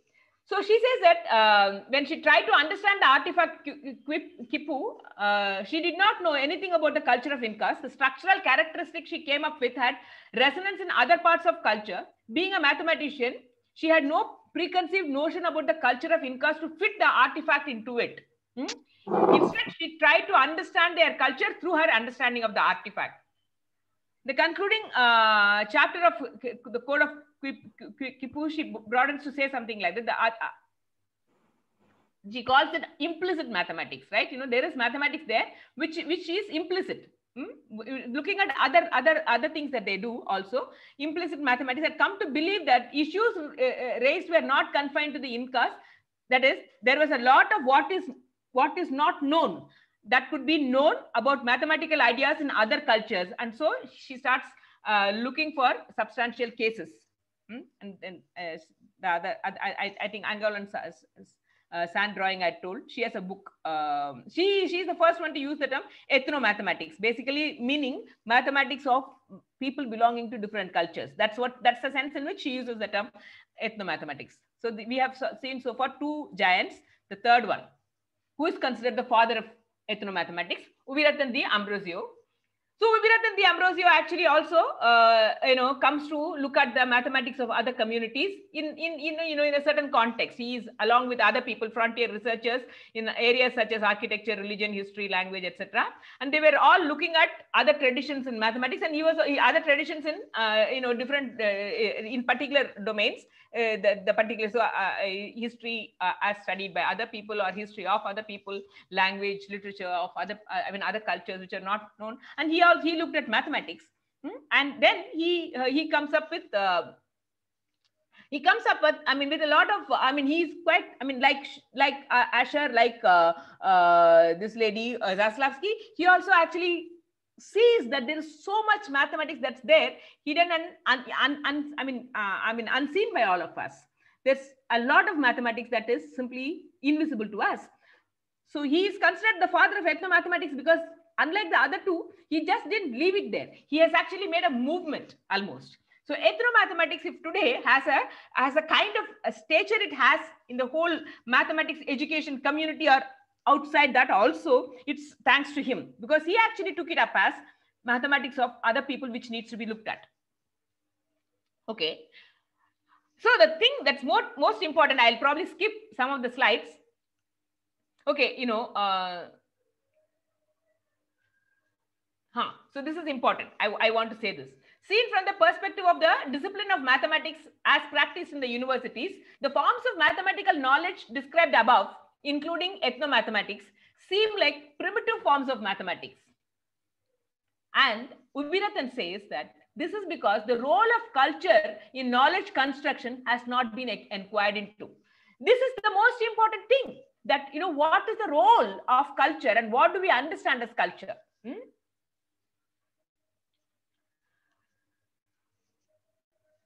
so uh, yeah, uh, okay. You know, yeah, almost all cultures have had, uh, uh, you know, basic things like counting and ordering, sorting, measuring, weighing, all these different ways in which they have done. So, and they have done it very differently and for different purposes. So, universality of mathematics for him cannot be sustained. Hmm? Okay. Uh, okay. So now what happens is that see, I, I, I'm, I'm, I'm kind of, kind of moving fast. So, you know, so let's kind of take a look at what we have done so far. One, I, I we, we, we, we, we recognize that the university mathematics, pure, what is called as pure mathematics is of one kind. And even within the university, there is another kind of mathematics, at least one another kind of mathematics, which we club all of them, engineers, physicists, accountants, everybody else, we put in another basket. Uh, call them as non-pure mathematics right? At least we have got two. And that's not really two bags. There are actually bags within the bag. There's several bags within that bag. But we have these two classification. At least we know that there are two different kinds of mathematics. One is the mathematicians mathematics and the other is the mm, mathematics, university mathematics, which is not mathematicians mathematics, right? And then, then we looked at other practices, which we probably think it's low level mathematics, etc., etc. Culture mathematics of the other people, other cultures, and so on and so forth. So by now, within the mathematics education community, the mathematics that mathematicians pursue in the universities is called academic mathematics. Hmm? That's the disciplinary mathematics. And there are a whole lot of other mathematics. The university mathematics is formal, uses an axiomatic framework and necessitates the use of deductive logic to prove or disprove mathematical statements. Hmm? Now, what is ethnomathematics? This is very important. So ethnomathematics is according to Ubiratan, it, it is um, mathematics which is practiced among identifiable cultural groups. Who are they? Such as national and tribal societies, labor groups, children of certain age bracket, professional classes, and so on. He actually, you know, he actually moves on from simply looking at culture as a as a community, referring to community, like you know, tribal communities, this particular community, that particular Iravas and uh, you know somebody else and somebody else and someone. No, he doesn't. He doesn't want to only restrict it that way. For him, culture is actually something that say mathematicians together they form a that's a cultural group, right? Physicists doing mathematics, they have a cultural. They're they're a cultural group. Why are they a cultural group? They're a cultural group because they have a common objective they use a certain kind of a common language which they understand between each other. We do not understand most of what physicists say. Hmm? And they have, an, they have a purpose for creating a certain kind of mathematics, right? So the kind of mathematics that they need, they create hmm? mostly. They might actually look at mathematicians a bit, but they don't really, we don't really have, share a language, right? Mathematicians have different objectives. They are pursuing truth, mathematical truths, and they're proving theorems, right? And then so these are also cultural groups. So according to Ubiratan D'Ambrosio, ethnomathematics is, the University of Mathematics is also ethnomathematics. The community of mathematicians share a common objective, beliefs and notions and symbols, and they can communicate with each other, understand each other, and produce a certain form of mathematics that makes sense to them, that they find useful for them. That's that meets some end. The rest of us are not at all unhappy, not knowing the mathematics that they know. So that's an, that's an ethnomathematics. University mathematics is one one example of ethnomathematics, right? This actually breaks everything that you expected about mathematics, right? Princeton math department is one ethnomathematics group. You never thought, okay, you thought that okay, now we'll have to go and tap tap into some tribal communities. Tribal communities mathematics is also ethnomathematics. The university mathematics is also an ethnomathematics. That is the major and interesting shift that Ubiratan D'Ambrosio brings into our understanding of ethnomathematics. That knowledge cannot be produced outside culture. Every knowledge, university knowledge, every knowledge is produced by a group of people sharing a cultural, um, you know, cultural context. There's a, there's a certain cultural background to us. I mean, I may go from India, somebody else may come from Japan, somebody else may come from, but we all have something common as mathematicians. We all can communicate in ways that I cannot communicate with my sister and you cannot communicate with your, uh, your own family member. There is something that there's some communication that we share. So we are a cultural group. Hmm? And I mean, these are, so any anthropologist will actually agree to this definition of culture. Right? This, this bringing in of the role of culture in the production of mathematics. Like, why are we producing this mathematics? Right? Where did we start? Why are, why are mathematicians interested in asking these useless questions like, can the equation x to the n plus y to the n is equal to z to the n have integer solutions? If it has or if it does not have, what is going to, how, what is going to change in this world? Are we going to solve the poverty problem? Are we going to solve, stop wars? Are we going to do anything? Are we going to become millionaires? Are we going to become something? Are we going to find some solution for this particular virus that's actually killing us right now? Why are we why are we interested in things? They say, forget yeah, do whatever you like. I am interested in solving this question. And that's the end of it. I find beauty in that, right? It's not necessarily use. So this this particular this particular definition is very interesting. Ethno-mathematics, he breaks it like that. Ethno mathematics. Now, what does it? This last term basically means techniques. Techniques stand for ways, arts, and techniques, math, uh, techniques that people use. Mathema for understanding, explaining, and learning. So he breaks this as ethno mathematics. This is techniques. This is understanding, explaining and learning and this is cultural groups. And that includes the cultural group social group so socio-cultural environment that is actually responsible for producing mathematics. So princeton so whenever you think about ethno-mathematics you think of the Tata institute of fundamental research math department think of princeton and also think of the uh, various communities of you know vegetable vendors uh, weavers and whoever else. Hmm? so you must that that we must keep in mind this is a challenge for us. So we, you know, ethno-mathematics, you know, do we have ready-made solutions? We don't. We're very interesting. If everything is known, what's the fun? We have to do something, right? And one of the most interesting thing that they are saying is that, see, this is one of the most interesting thing that he, they, they've said. Oh, Ubi and Ascher, uh, Ubiratan D'Ambrosio and Ascher have a dialogue. There they talk about what people do. They say that, see, survival is, yes, we, we, we need mathematics for survival. But we also transcend that you know you know you are tiling you are you, you want to you are a, you are you are just involved in this business of making tiles for the floor Arey yaar, what is the objective of tiling you just need a smooth surface on which you can walk why are you fussing about tiling is a very interesting problem you really look at the kind of tile styling, you know, like uh, symmetric tiling. I mean, all kinds of tiling. The Penrose tiling is a very well-known thing, you know. So this tiling is actually becomes a mathematical problem. That becomes first of all an aesthetic thing. You you you find certain tile tile way of tiling appealing to you, and then it becomes a mathematical question, right? This is totally unnecessary. Totally useless, unnecessary. You simply have to work. But you are you are never, we are never satisfied only with utility. It's not that I mean, your hunger uh, problem of hunger and shelter and clothing is solved, then you are peaceful. No, you are. You have. A, we all have a craving for craving to transcend that. There are other things that fascinate us. These are actually basic things that we want to take care of, and sometimes even forego that to be able to pursue something else, something transcend this immediate physical uh, needs of ours. Right? This transcending is is something that we all across cultures, across generation, have had the straightness to transcend the immediate. Right? So that's what he says. See, one of the one of the major problems that Greek mathematicians had was, can we trisect the angle? That's one of the trisecting angle is a problem, serious problem. Can you use only uh, a, a, ruler and a compass and trisect an angle? You can bisect an angle very easily. Can you trisect this? That was a question that remained as a question. And you see, they would never actually physically do it. They have to do it logically. Hmm? The thing is, Ubiratan says, if all that you wanted was to simply trisect an angle, you could have just somehow done it off. Physically, if you have to, if you if you needed, needed to actually trisect an angle, you would have done it off. But that's not what, that is the immediate problem. That's not what you are bothered about. You are bothered about something else. You are bothered about the logical possibility of that. That actually transcends the immediate, right? Similarly, Ascher talks about the tiling and so, so on and so forth. These are some of the cultural markers. These are the things.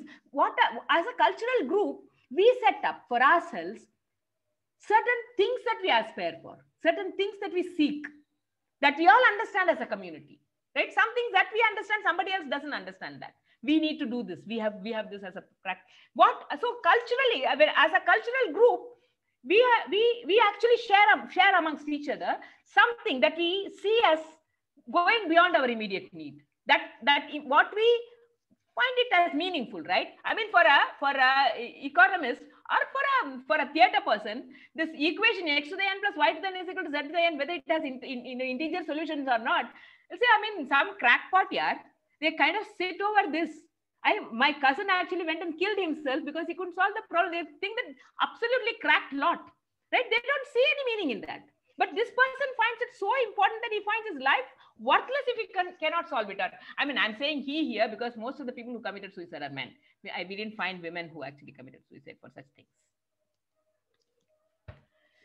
So the role of culture is central to uh, this, and um, I hope. I mean, how many more slides do I have? So I'll, I'll come come back to that slide a little bit later. I wanted to give some examples. So here, this is ikat weaving. Now, you know, this is. I mean, this the picture is a bit hazy, but you know, this weaving is a very, you know, this very specialized kind of weaving. You know, it has the same pattern both sides the weaving is and and this has been done across the world apparently in different parts. In in tamil nadu you have this in uh, in tamil nadu i'm saying in india you have it in um, in orissa you have some group which which does that in andhra pradesh pochampalli they do this. And it's a very complicated kind of work. It is not like any other weaving. Hmm? i mean any other weaving also calls for uh, talent and, uh, and, and and and some mathematical knowledge certain way in which they they, they set it up handloom is that way a place where you can look for. And then I, I was looking at this. Now this this course there's a lot of mathematics that should go into this. In in uh, in designing shaping these things. In in every from from getting the leather to uh, work on ready to work work it work on and actually to make these designs on it and so on and so forth. Somebody should study them. Now how do they what most of the time they do not they are not using any mathematics to do that that they learned in school to do this. They are using mathematics that's coming from within. Okay. Uh, is there any other any other picture that I wanted to show? Okay, so let me go back. Right, I showed some pictures. There are several others. There's uh, there's boat builders, for example. There's this person who um, uh, Swapna Mukhopadhyaya, who has done uh, some work with she's an anthropologist who works in math education. She works she's in the us portland. Uh, she has actually worked with the she's a bengali right? And so she has worked with the, the boat builders uh, and she's tried to understand the kind of mathematics that these people who have completely no education what kind of i mean those boats shouldn't sink right? They have to go right? So there is a kind of mathematics that they know. So she's been working with them to try to decode the kind of mathematics that they have. Now, the thing is that, yeah, okay, so I have given some examples of ethnomathematics. I have said what is ethnomathematics. And, um, and then the major challenge for us is that what is the use of it and what is not ethnomathematics. In fact, I want to uh, say that, that, that I had put a slide. One second, I'll, I'll go to that slide. Okay, uh, where is that one, that slide? Uh, barters I will come to because before the barter, I should actually say what is not ethnomathematics. So simply trying to fit cultural practices of certain groups engaged in some work into the existing school, school mathematics curriculum is not ethnomathematics. It is not like taking examples from somebody else's. Okay, uh, right. Okay, so you have some design there in your dress. So we'll try and put that in. No, that that is not. You have to. Ethnomathematics has to be.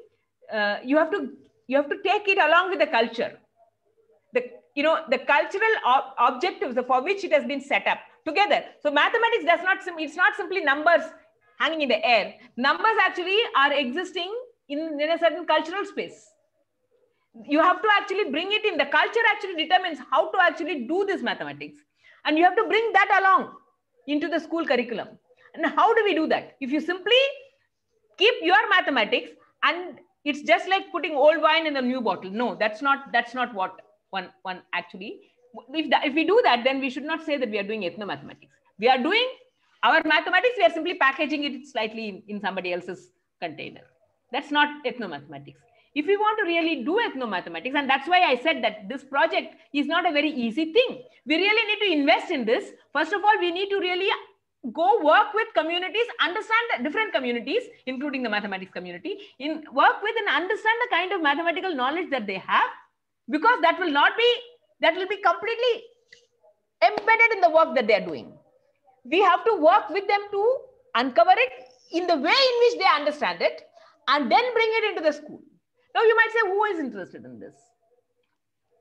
The thing is, living traditions. You know, Aldo Parra, whose name I mentioned, who is a very young uh, mathematician in a, a Latin American country, um, he is actually he, he he talks about he says that you know countries like india countries like theirs where there's a huge rural population where people are still engaged in the kind of boat builders and the others who are engaged in work which is which within the local market rural indian market uh, has value they are actually um, using some ma mathematics right?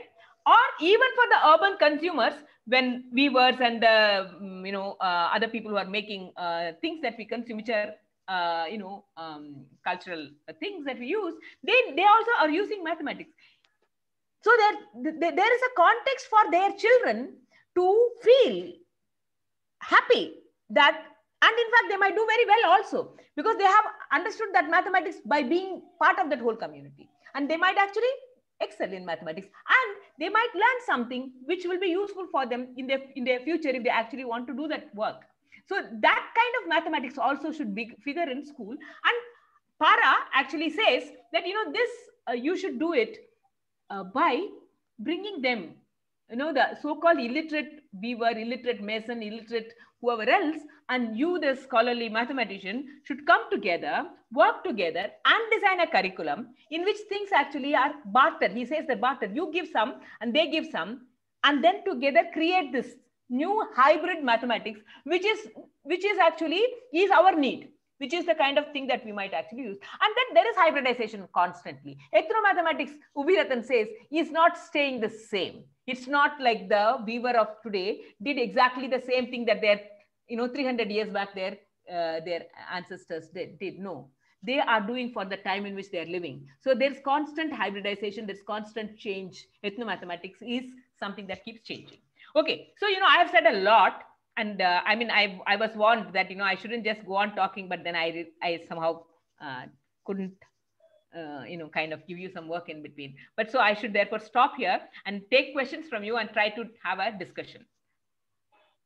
I, I mean, I'm probably skipping. I mean, I've said more or less everything that I wanted to say. Yeah.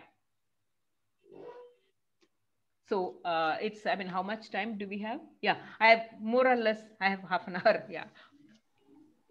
Yeah. Actually, yeah, the time is up. But, uh, we can uh, take some questions. Uh, so I uh, request Daya and Nisha, if there are any questions, can you just um,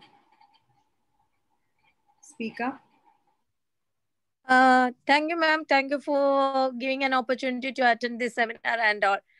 Actually, I am the grade, I am teaching grade five in Abu Dhabi. And actually, I like your talk, ma'am, and I feel that the same thing what you tell is right. For as if I am going to my class, they feel that mathematics, oh, max teacher is coming. That is the attitude. It is created by by the community itself. But uh, I want I I want a suggestion from you. Like, if a child is so irritated with math, how can we improve as a teacher, as, as a community? If I want to now i am also working as a coordinator in of math itself in my school so how can we make that change?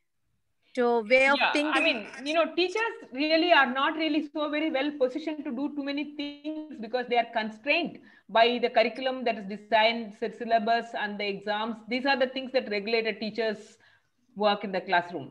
Though she might be extremely concerned as you are about a few students who are being who are really ter terrified. And i think there's also pressure on them to worry about these students because uh, yeah. But then you know teacher is i mean it cannot unless unless she's given some I, I would first say that the teacher should have some freedom to design the curriculum for the class that she's teaching. That's one of the one of the most important thing that she should we should trust the teacher and give her the freedom to design something that is that works for her in the classroom autonomy of the teacher has to be respected. Only then this can be done. And then the teacher might experiment with many things. For example she might actually also take to the classroom something that gives a very positive experience of mathematics for this child. You might explore try and see what works for the child right? We we do not i mean i don't want to fool ourselves by saying that you know we have ethnomathematical tools. I mean like you know the thing the thing is that this but this particular child comes from a certain cultural background. There there is probably some kind of a mathematical knowledge that the community has, which he might be familiar with or she might be familiar with. uh, we may not really be able to tap that very easily. I mean, that's not the job of a teacher. That's the job of a researcher. Researchers will have to work on that and that the state has to fund them. But as a teacher, faced with an odd situation, if you had autonomy, if you are not constrained by uh, you know exams and syllabus and etc. etc., you might actually try and explore like what other. I mean, I I think that you know like when I tried. Um, algorithms are very difficult for children children right? Division algorithm. Such a difficult thing for most of the children. Let me uh, we used an alternate algorithm in the classroom. I do not know you, you all might know this. I'm going to exit the screen and so that uh, or i might probably try and use it here right here. Uh, right in the last last slide maybe. Yeah so i can try and write here. Oh i should um, i should exit the full uh, yeah uh, i don't know whether i can write um, Okay, so let me get a um, Word document and I can write on that. Okay, I'll open a Word document and probably I can write on that. So, um, you know, uh, when if we um, allow children, if we teach division, for example, differently rather than uh, giving the algorithm right away, even addition algorithm, you know, that's what uh, Terezinha Nunes says. I mean, like, you know, allow children to do addition on their own. You don't teach them how to add. They will, they will figure out how to add you actually help them understand what they are doing uh, rather than telling them how to do. Where is, uh, right, I have to share screen. Share screen. Yeah. So the division algorithm that we used was something like this. This is, I think, there in the NCERT book. Most uh, people have not used that, but then if one uses the NCERT book, one can find a division which is really interesting to do. So for example, supposing you, you want to do say 2, 247 divided by um, 9 or something like this, right? So uh, uh, we, we do the algorithm thing, no? Children get confused like, okay, you have to put a zero, you, you don't know where, where to put a zero. So instead you could actually take this alternate algorithm, 247 you can take, you have to divide this by 9 so what is that? What is the number of uh, how many times? Say for example, you could actually sub take. Say supposing you give give ten, you have to you have 247 rupees and you have to give nine nine people. So first you give everybody say 10 rupees. How much would you uh, spend? 90. This is whole number, right? Then you do the subtraction. Then try and see how much more can you give, and go on doing it, and then actually add up this.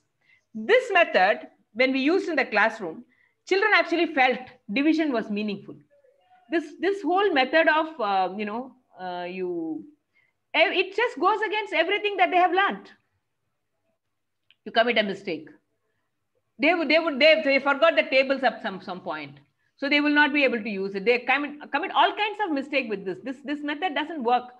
This works much better. So try and use an alternate uh, algorithm. Similarly addition. Small children find that you know in class one you told me to add 8 and 7, you know, I was in class 1, you told me to add this and asked me to put this.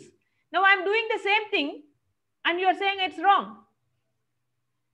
Now suddenly you are saying don't put the one here, put the one here. I don't understand mathematics. Very scary. No, eh, algorithms are extremely difficult for children. On the other hand, if you allow them to add 18 and 17 meaningfully, like you know 18 becomes if you add two more it becomes 20 so take two from there put it here it becomes 20 how much is left? 15 so it is 35 that makes sense for them. Know these are some of the so this is some some examples i'm giving but then you know one has to look around for material. But the good thing today is that google scholar is a place from where you can actually access a lot of material. You just have to go to google scholar and you have all lot of literature at your fingertip today you know. Uh, teachers experiences uh, or alternate curriculum all that is available. So you could try and see what you know experiment with some things that you that might be useful for you. I don't know whether that that answer was of any you, you any help for you. Yes ma'am. Yes ma'am. It's fine. Okay. Yeah so we but, i mean also reach out to people like us. We if we have something we will share with you yeah so we have to just move ahead now, ma'am, because uh, the time is up. And um, shall yeah. we uh, close the session if there is no other question? Diane, yeah, I mean, uh, Nisha, any, any other question, I'll answer. Otherwise, Ma'am, there are some questions. Okay. Ah, yeah, please tell. Uh, there is a question from Deepak Vashishta. Don't Right. you feel mathematical education should be a part of school curriculum? What we are teaching in classroom is algorithms of mathematics most of the time. Absolutely right. I totally agree with you. Absolutely. That's true. That's the that's the problem. We don't really that's why mathematics becomes so very scary for children. Right? We teach them algorithms all the time. We do not teach them mathematics. Mathematics will call for time. You need to give them some time because everybody doesn't comprehend concepts the same way. Sometimes it occurs to somebody on some days. You still have to give them more opportunity. So yeah, sure, absolutely. I agree. Okay, ma'am. Uh, and the next question is the CBSE board is now making an art integration as an important part of the curriculum. Can you give us some links where we can read up about ethnomathematics, mainly for the primary section? Okay. Yeah. See, you know, um, links. I, I, I- I wouldn't. I mean, what I can do is I can uh, send you a list of um, references, maybe. But my suggestion is that if you have, if you are asking for links, that means you already have access to net. So I would say Google. Uh, go to. Um, yeah, I'll just one second. Give me Google, go to Google Scholar um, and ask for ethnomathematics, and then you get a lot of uh, stuff. That is uh, one way of uh, doing it. Share screen. Uh, yeah, yeah. So Ma'am, go to आपण Google जाऊया Scholar, खाली. Google Scholar, and uh, say ethnomathematics in the classroom or something like that, you will get a lot of some examples. You know, ethnomathematics, one should know, is an emerging domain. It is not really already well known. It's not that we already know a lot of it in the world. In some places, in in in, in some of the Latin American countries, and in in Australia, there are some groups which have actually worked and have evolved Ma- with Maori tribes. some somebody has done something. So you can say ethno mathematics uh, for primary children, school math, school uh, children. Okay, you might actually find something. So yeah, you can try and see if something will work. There are some people who have actually who have raised a lot of serious issues with ethnomathematics, but uh, there might be some primary school education here. No, uh, there's something here. So you have to search for it. I, I mean, if you want, I can search and send you something, but they will all be research papers, you know. So actual curriculum that people have used in the classroom, one should actually make the effort to reach out and try and get. We can try and do that. I, I do not have right away something to give you, but can uh, try and get something for you if you want to kind of try it out in the classroom. Yeah. Uh, ma'am, the next question is, is it equivalent to man mental math? No, no, not at all. Mental maths is also a kind of ethnomathematics because you're learning it in, from the community, from your, you know, as a group of people, you learn it. But all of ethnomathematics certainly is not uh, is not uh, only uh, this no mental math. No, there are a lot of other things, designs. I mean, for, for the tiling, for example, the constructions, for example, carpenters mathematics. Carpenters actually share a certain way of cutting wood.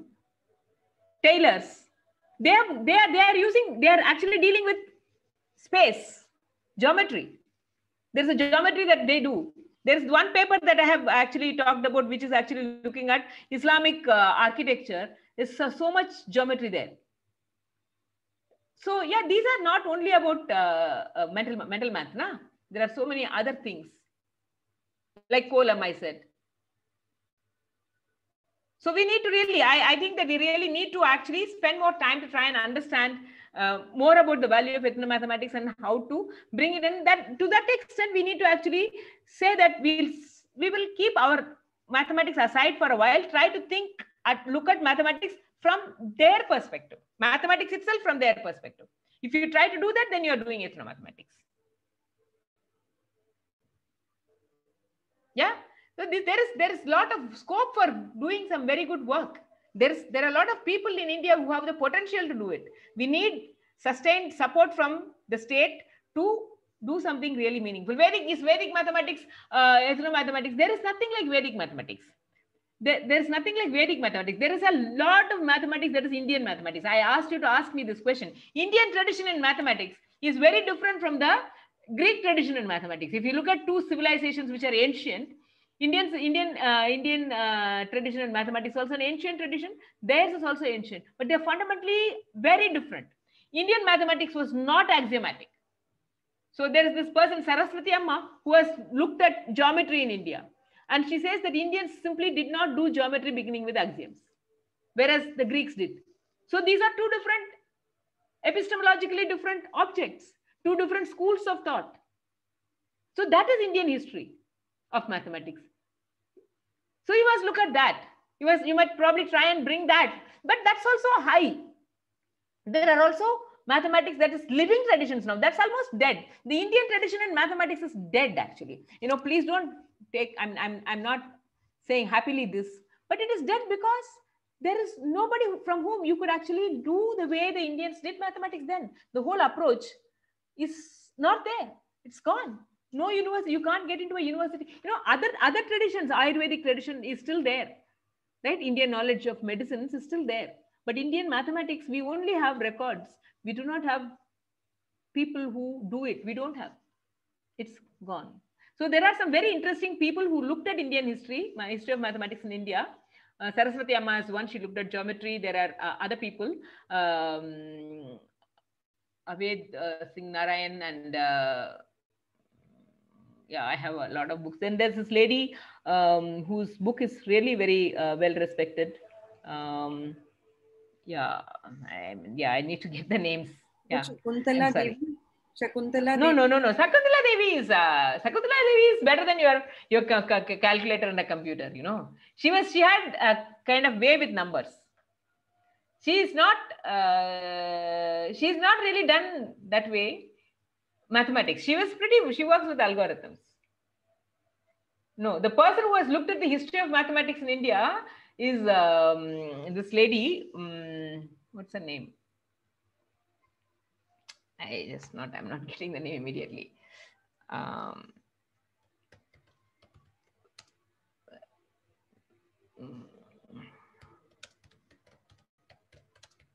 yeah.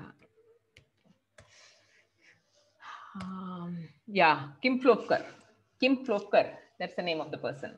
She's uh, written very good book. Then there's this other person, George Joseph Gheverghese. He came here. He works in the he's now very old, but then he has written this very beautiful book called The Crest of Peacock: Non-European Roots of Mathematics, looking at diverse traditions in mathematics. You know, very many different cultures. The whole thing about uh, Inca mathematics is that you know they had a different tradition that is dead and gone wiped out. Indian tradition is gone, actually. I mean, you know, anybody who actually is honest would admit that Indian achievement in mathematics, in fact, George's claim was that we had done mathematics, which actually was a precursor to calculus. That's his claim. I don't know if there is sufficient evidence for it, but he makes that claim that the Kerala School of Mathematics already there was good bit of mathematics that was developed that could be seen as the precursor to calculus. That was our kind of achievement in mathematics. But the approach was different and it is displaced. It is not, it's not there anymore. Nobody does Indian mathematics anymore in the world. That's a bit sad. Yeah. Yes, Nisha, any more questions? Yeah. Okay, so ma'am, uh, yeah, thank you very much for your session. I think we have appreciated this topic so much it was a new topic for us and we wanted to know more about this topic. You have motivated us to learn about this topic and uh, i think we appreciated our own culture also through this uh, talk. Uh, so i would now request ma'am uh, i will just uh, we, we as a mathematics pedagogy group we always uh, do a small study. So i will request alsona and rachel to present that study uh, oh, sure. Just a brief one, ma'am. So we'll just yeah, present. Yeah, yeah, yeah, that'd be nice. Uh, Jayasree ma'am, can you stop sharing? So I will share. Yeah, yeah, I'll, I'll, I'll, I'll do that. Yes. Sorry. Yeah, right. I've stopped. Yeah.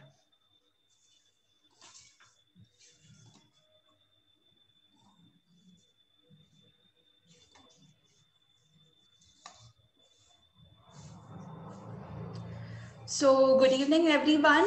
Uh, we had, uh, we as Maths Pedagogy Group, we had done a survey about mathematics uh, literacy. So now uh, I would like to uh, present the stats of the survey that we have received.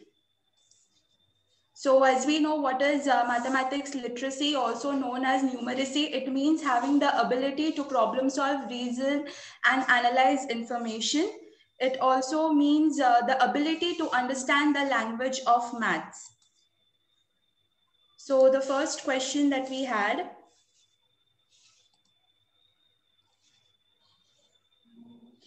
lack of knowledge of mathematical language can hinder the development of mathematical concepts. And the uh, total 87 people had uh, responded to this survey. So as we can see, 62 people, that is around 71% of respondents strongly agreed to it, whereas 23 uh, respondents agree to it, whereas there are one respondents each for neutral and disagree. The next question is, the formulas depicting the relationships between terms and concepts is difficult for student understanding. And as we can see, 46 respondents have agreed, whereas 12 of them have strongly agreed. And we have 17 and 11 each for neutral and disagree. And there is one respondent who strongly disagrees to this. The next question. Schools must focus on mathematics articulation skills by teaching mathematics language. And as we can see, 85 respondents, that is almost 98% of respondents feel that yes, schools must focus on mathematics articulation skills by teaching mathematics language. Next question. The synonyms used in mathematics, for example, altitude and height could create conceptual conflicts in the students and the stats for this answer is 61 respondents feel yes, whereas 26 respondents feel no. Next question. The meanings conveyed by the word problems are difficult to comprehend. And uh, we can see that uh, 69 uh, respondents feel that sometimes, yes, the meanings conveyed are difficult to comprehend. Six respondents feel always, whereas eight feel often, and uh, four respondents uh, say that uh, no, never. Next question.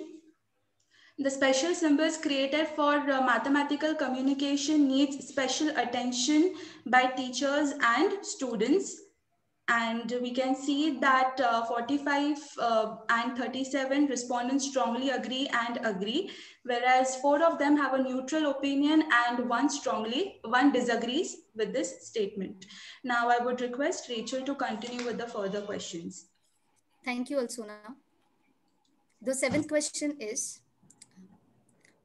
mathematical phrases if and only if greater than is equal to create confusion in child's mind so here, out of the 89, 87 respondents, seven respondents have responded as always. 53 participants have responded as sometimes. 21 participants has responded as often. Also, I can't see the screen. Can you minimize it a bit? I mean, it's not fitting.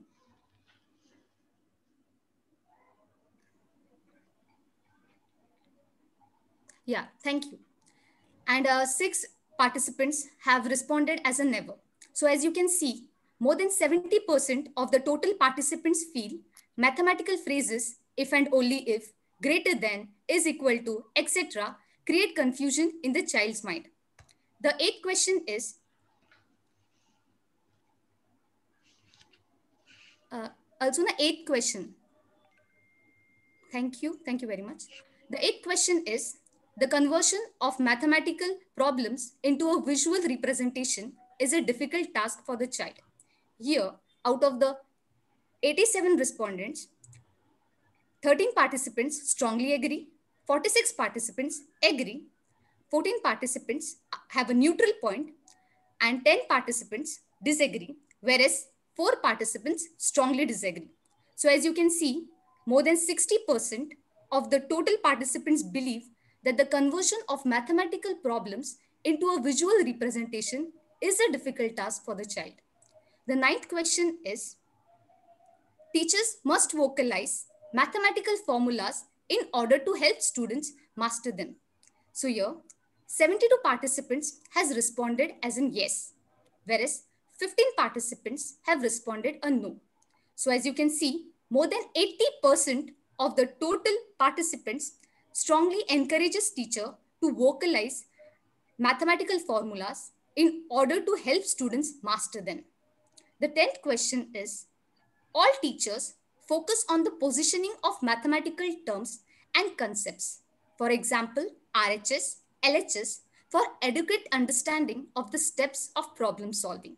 So here, out of the 87 participants, 26 participants strongly agree, 47 participants agree, 13 participants have a neutral point, whereas no participants disagree, and one participant strongly disagree. So as you can see here, more than 80 more than 80% of the total participants encourages teachers to focus on the positioning of mathematical terms and concept for adequate understanding of the steps of problem solving. The 11th question is, teachers must encourage mathematical discussions and conversations to develop mathematical fluency. Here, 80 participants has responded the answer as in yes, whereas seven participants says no. So here, as you can see, out of the total participants, 90 participants firmly believe that teachers must encourage mathematical discussions and conversations to develop mathematical fluency. The 12th question is, reading, writing, and word meaning must be taught in mathematics just like language teaching.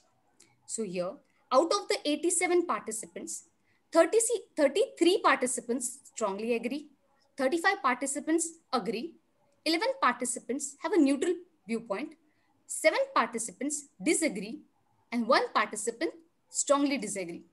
So here, as you can see, more than 75% of total participants have suggested that reading, writing, and word meaning must be taught in mathematics just like language teaching. The last and the 13th, that is the 13th question is, the mastery of mathematics vocabulary is a stronger indicator, is a strong indicator of a student's success. Please share your valuable thoughts here. So here, all of the 87 participants have agreed to the above statements and provided their valuable feedback. They say most of the students learn mathematics without understanding it. Therefore, there is a need of understanding mathematics and mathematics vocabulary. It simply depicts that child can have a greater grip on the subject matter. This will enable students to enjoy mathematics, taking initiative to solve problem by themselves, and of course, help them gain better understanding.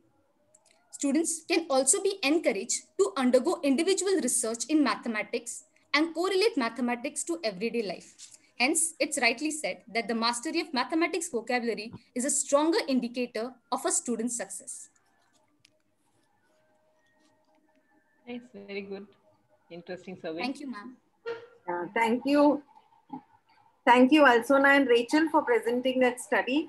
So we come to the end of this session. And uh, before ending the session, I would like to place my uh, sincere thanks to the student coordinators. Uh, we have Riesel, uh, who introduced the speaker, and uh, we had for the question answer, we had Daya and Nisha. We had the study which was presented by Alsona and Rachel. We had, uh, now we will be having Clarice who will be proposing the vote of thanks. And we had Alsona and uh, Riesel as the co-host for uh, today's uh, session. So students, thank you very much. And I would request Clarice to propose the formal vote of thanks. Uh, yes, ma'am. Uh, before I start the vote of thanks, I would uh, request all the participants that the link is already been posted in the chat box. So you all can uh, fill the feedback form. Uh, good evening, everyone. So it is my privilege to propose a vote of thanks for the SXI Maths Webinar Series 6 2020. So on behalf of a manager, Father Blaise D'Souza, Principal Dr. Susama Samuel, staff in charge Dr. Vinny Sebastian, I extend a hearty vote of thanks to our speaker, Dr. Jayasree Subramanian, who spared time from her busiest schedule for this webinar. Today, we have been privileged and had this amazing opportunity to hear your session on mathematics. I am sure that all this information will help us immensely in our respective fields. So thank you once again, ma'am. Uh, next, I would like to thank our uh, manager, Father Blaise D'Souza, Principal Dr. Susama Samuel for allowing us to continue with our mathematics webinar series 6 and for all the other webinars that we conducted throughout this year. I would like to thank and appreciate our staff in charge of Mathematics Pedagogy Unit, Dr. Vinny Sebastian, for motivating and encouraging us to continue with this webinar series. Uh, my heartfelt gratitude to our student coordinators, uh, Alsona, Riesel, Rachel, Daya, Nisha, and Clarice for being a strong team behind and providing te technical support. And last but not the least, a big thank you to all you participants for your presence. Without each and every one of you on Zoom as well as on YouTube, uh, this event would have been successful. We would hope that you take back something from today's session. So once again, thank you for making this event a success with your enthusiastic participation. Uh, with this, I end my vote of thanks. Uh, now there are some instructions regarding the feedback form. So the link is already been posted on the Zoom chat as well as the YouTube chat. So please note that later no link will be posted on the WhatsApp chats. Uh, feedback form link will be open up till 7.30. So while filling the feedback form, make sure that you'll enter the correct email address. Uh, if you do not get the certificate, wait for some time or check your spam folder. Even if then you do not get, then you can co uh, contact any one of the student coordinators before 7.30. Thank you. Now over to Vinny ma'am. So Jayasree ma'am, uh, thank you very much again for sparing your time and there is a lot of appreciation for you on the YouTube. Uh, they have really uh, enjoyed the session. It was interesting and uh, it was informative and uh, they are going to use it uh, further in their you know teaching and it has widened their knowledge so i'm just telling transferring all the appreciation to you from the youtube as well as the chat you can also see that but it has really been a very good session ma'am very interesting very informative and I think it is uh, really enriching for us. So thank you for uh, coming for this webinar and accepting our invitation. Thank you very much, ma'am. Uh, ma'am, uh, Dr. Susama, ma'am, would you like to say something or we can uh, conclude this, ma'am? Uh, yeah, I, I, I have sent my uh, congratulations yes, note. Uh, yeah, I think so. And it was a great session, very informative session. Uh, ma'am, yes, ma'am. Yeah, it was. I'm, very... I'm, I mean, I mean, I really hope that it was of use because I really didn't give time in between. I forgot that. Probably it was a very continuous, boring session. Maybe I thought that it must might have been a bit boring for the participants. it was great. It was good. Okay.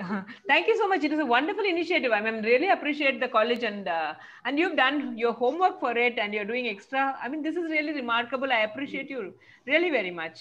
This is quite nice. Thank I you, really, ma'am. I feel happy. Thank you, ma'am. Thank, Thank you, ma'am. Thank you. This opportunity was really great. Thank you so much. Thank you, ma'am. Yeah. Uh, so uh, I request the participants to kindly fill the feedback form before I uh, log out from this meeting. And you have a lovely thing in the wall there, which is a lot of mathematics there. yeah. Warli. yeah, Warli painting, yes. yeah. Okay then. Yes. Okay. Okay. Thank you. Bye. Bye. Bye. I'm leaving the meeting. Yes, yes. Thank you. Yeah. Thank you, Vinny. Bye. Yes, yes. Bye, ma'am. Bye. I will leave. Yes, yes, ma'am. Thank you. Father Blaise could not join, he said. Uh, he had some work. Huh? Okay. Uh, Riesel, can you hear me, Riesel? Yes, ma'am. Can I end the meeting or should I wait? Uh... Ma'am, just wait for two minutes. Like one minute also is enough. I'm just pasting the feedback form in case anything. Yeah. Ma'am, for one last time, paste it on YouTube also. Okay.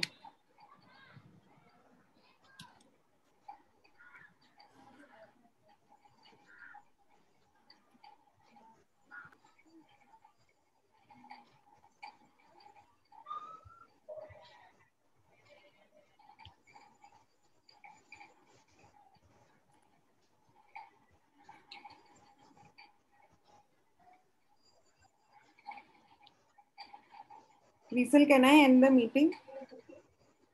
Yes, ma'am. Yes. Thank you, ma'am. Yeah, welcome. Bye. Bye, everyone.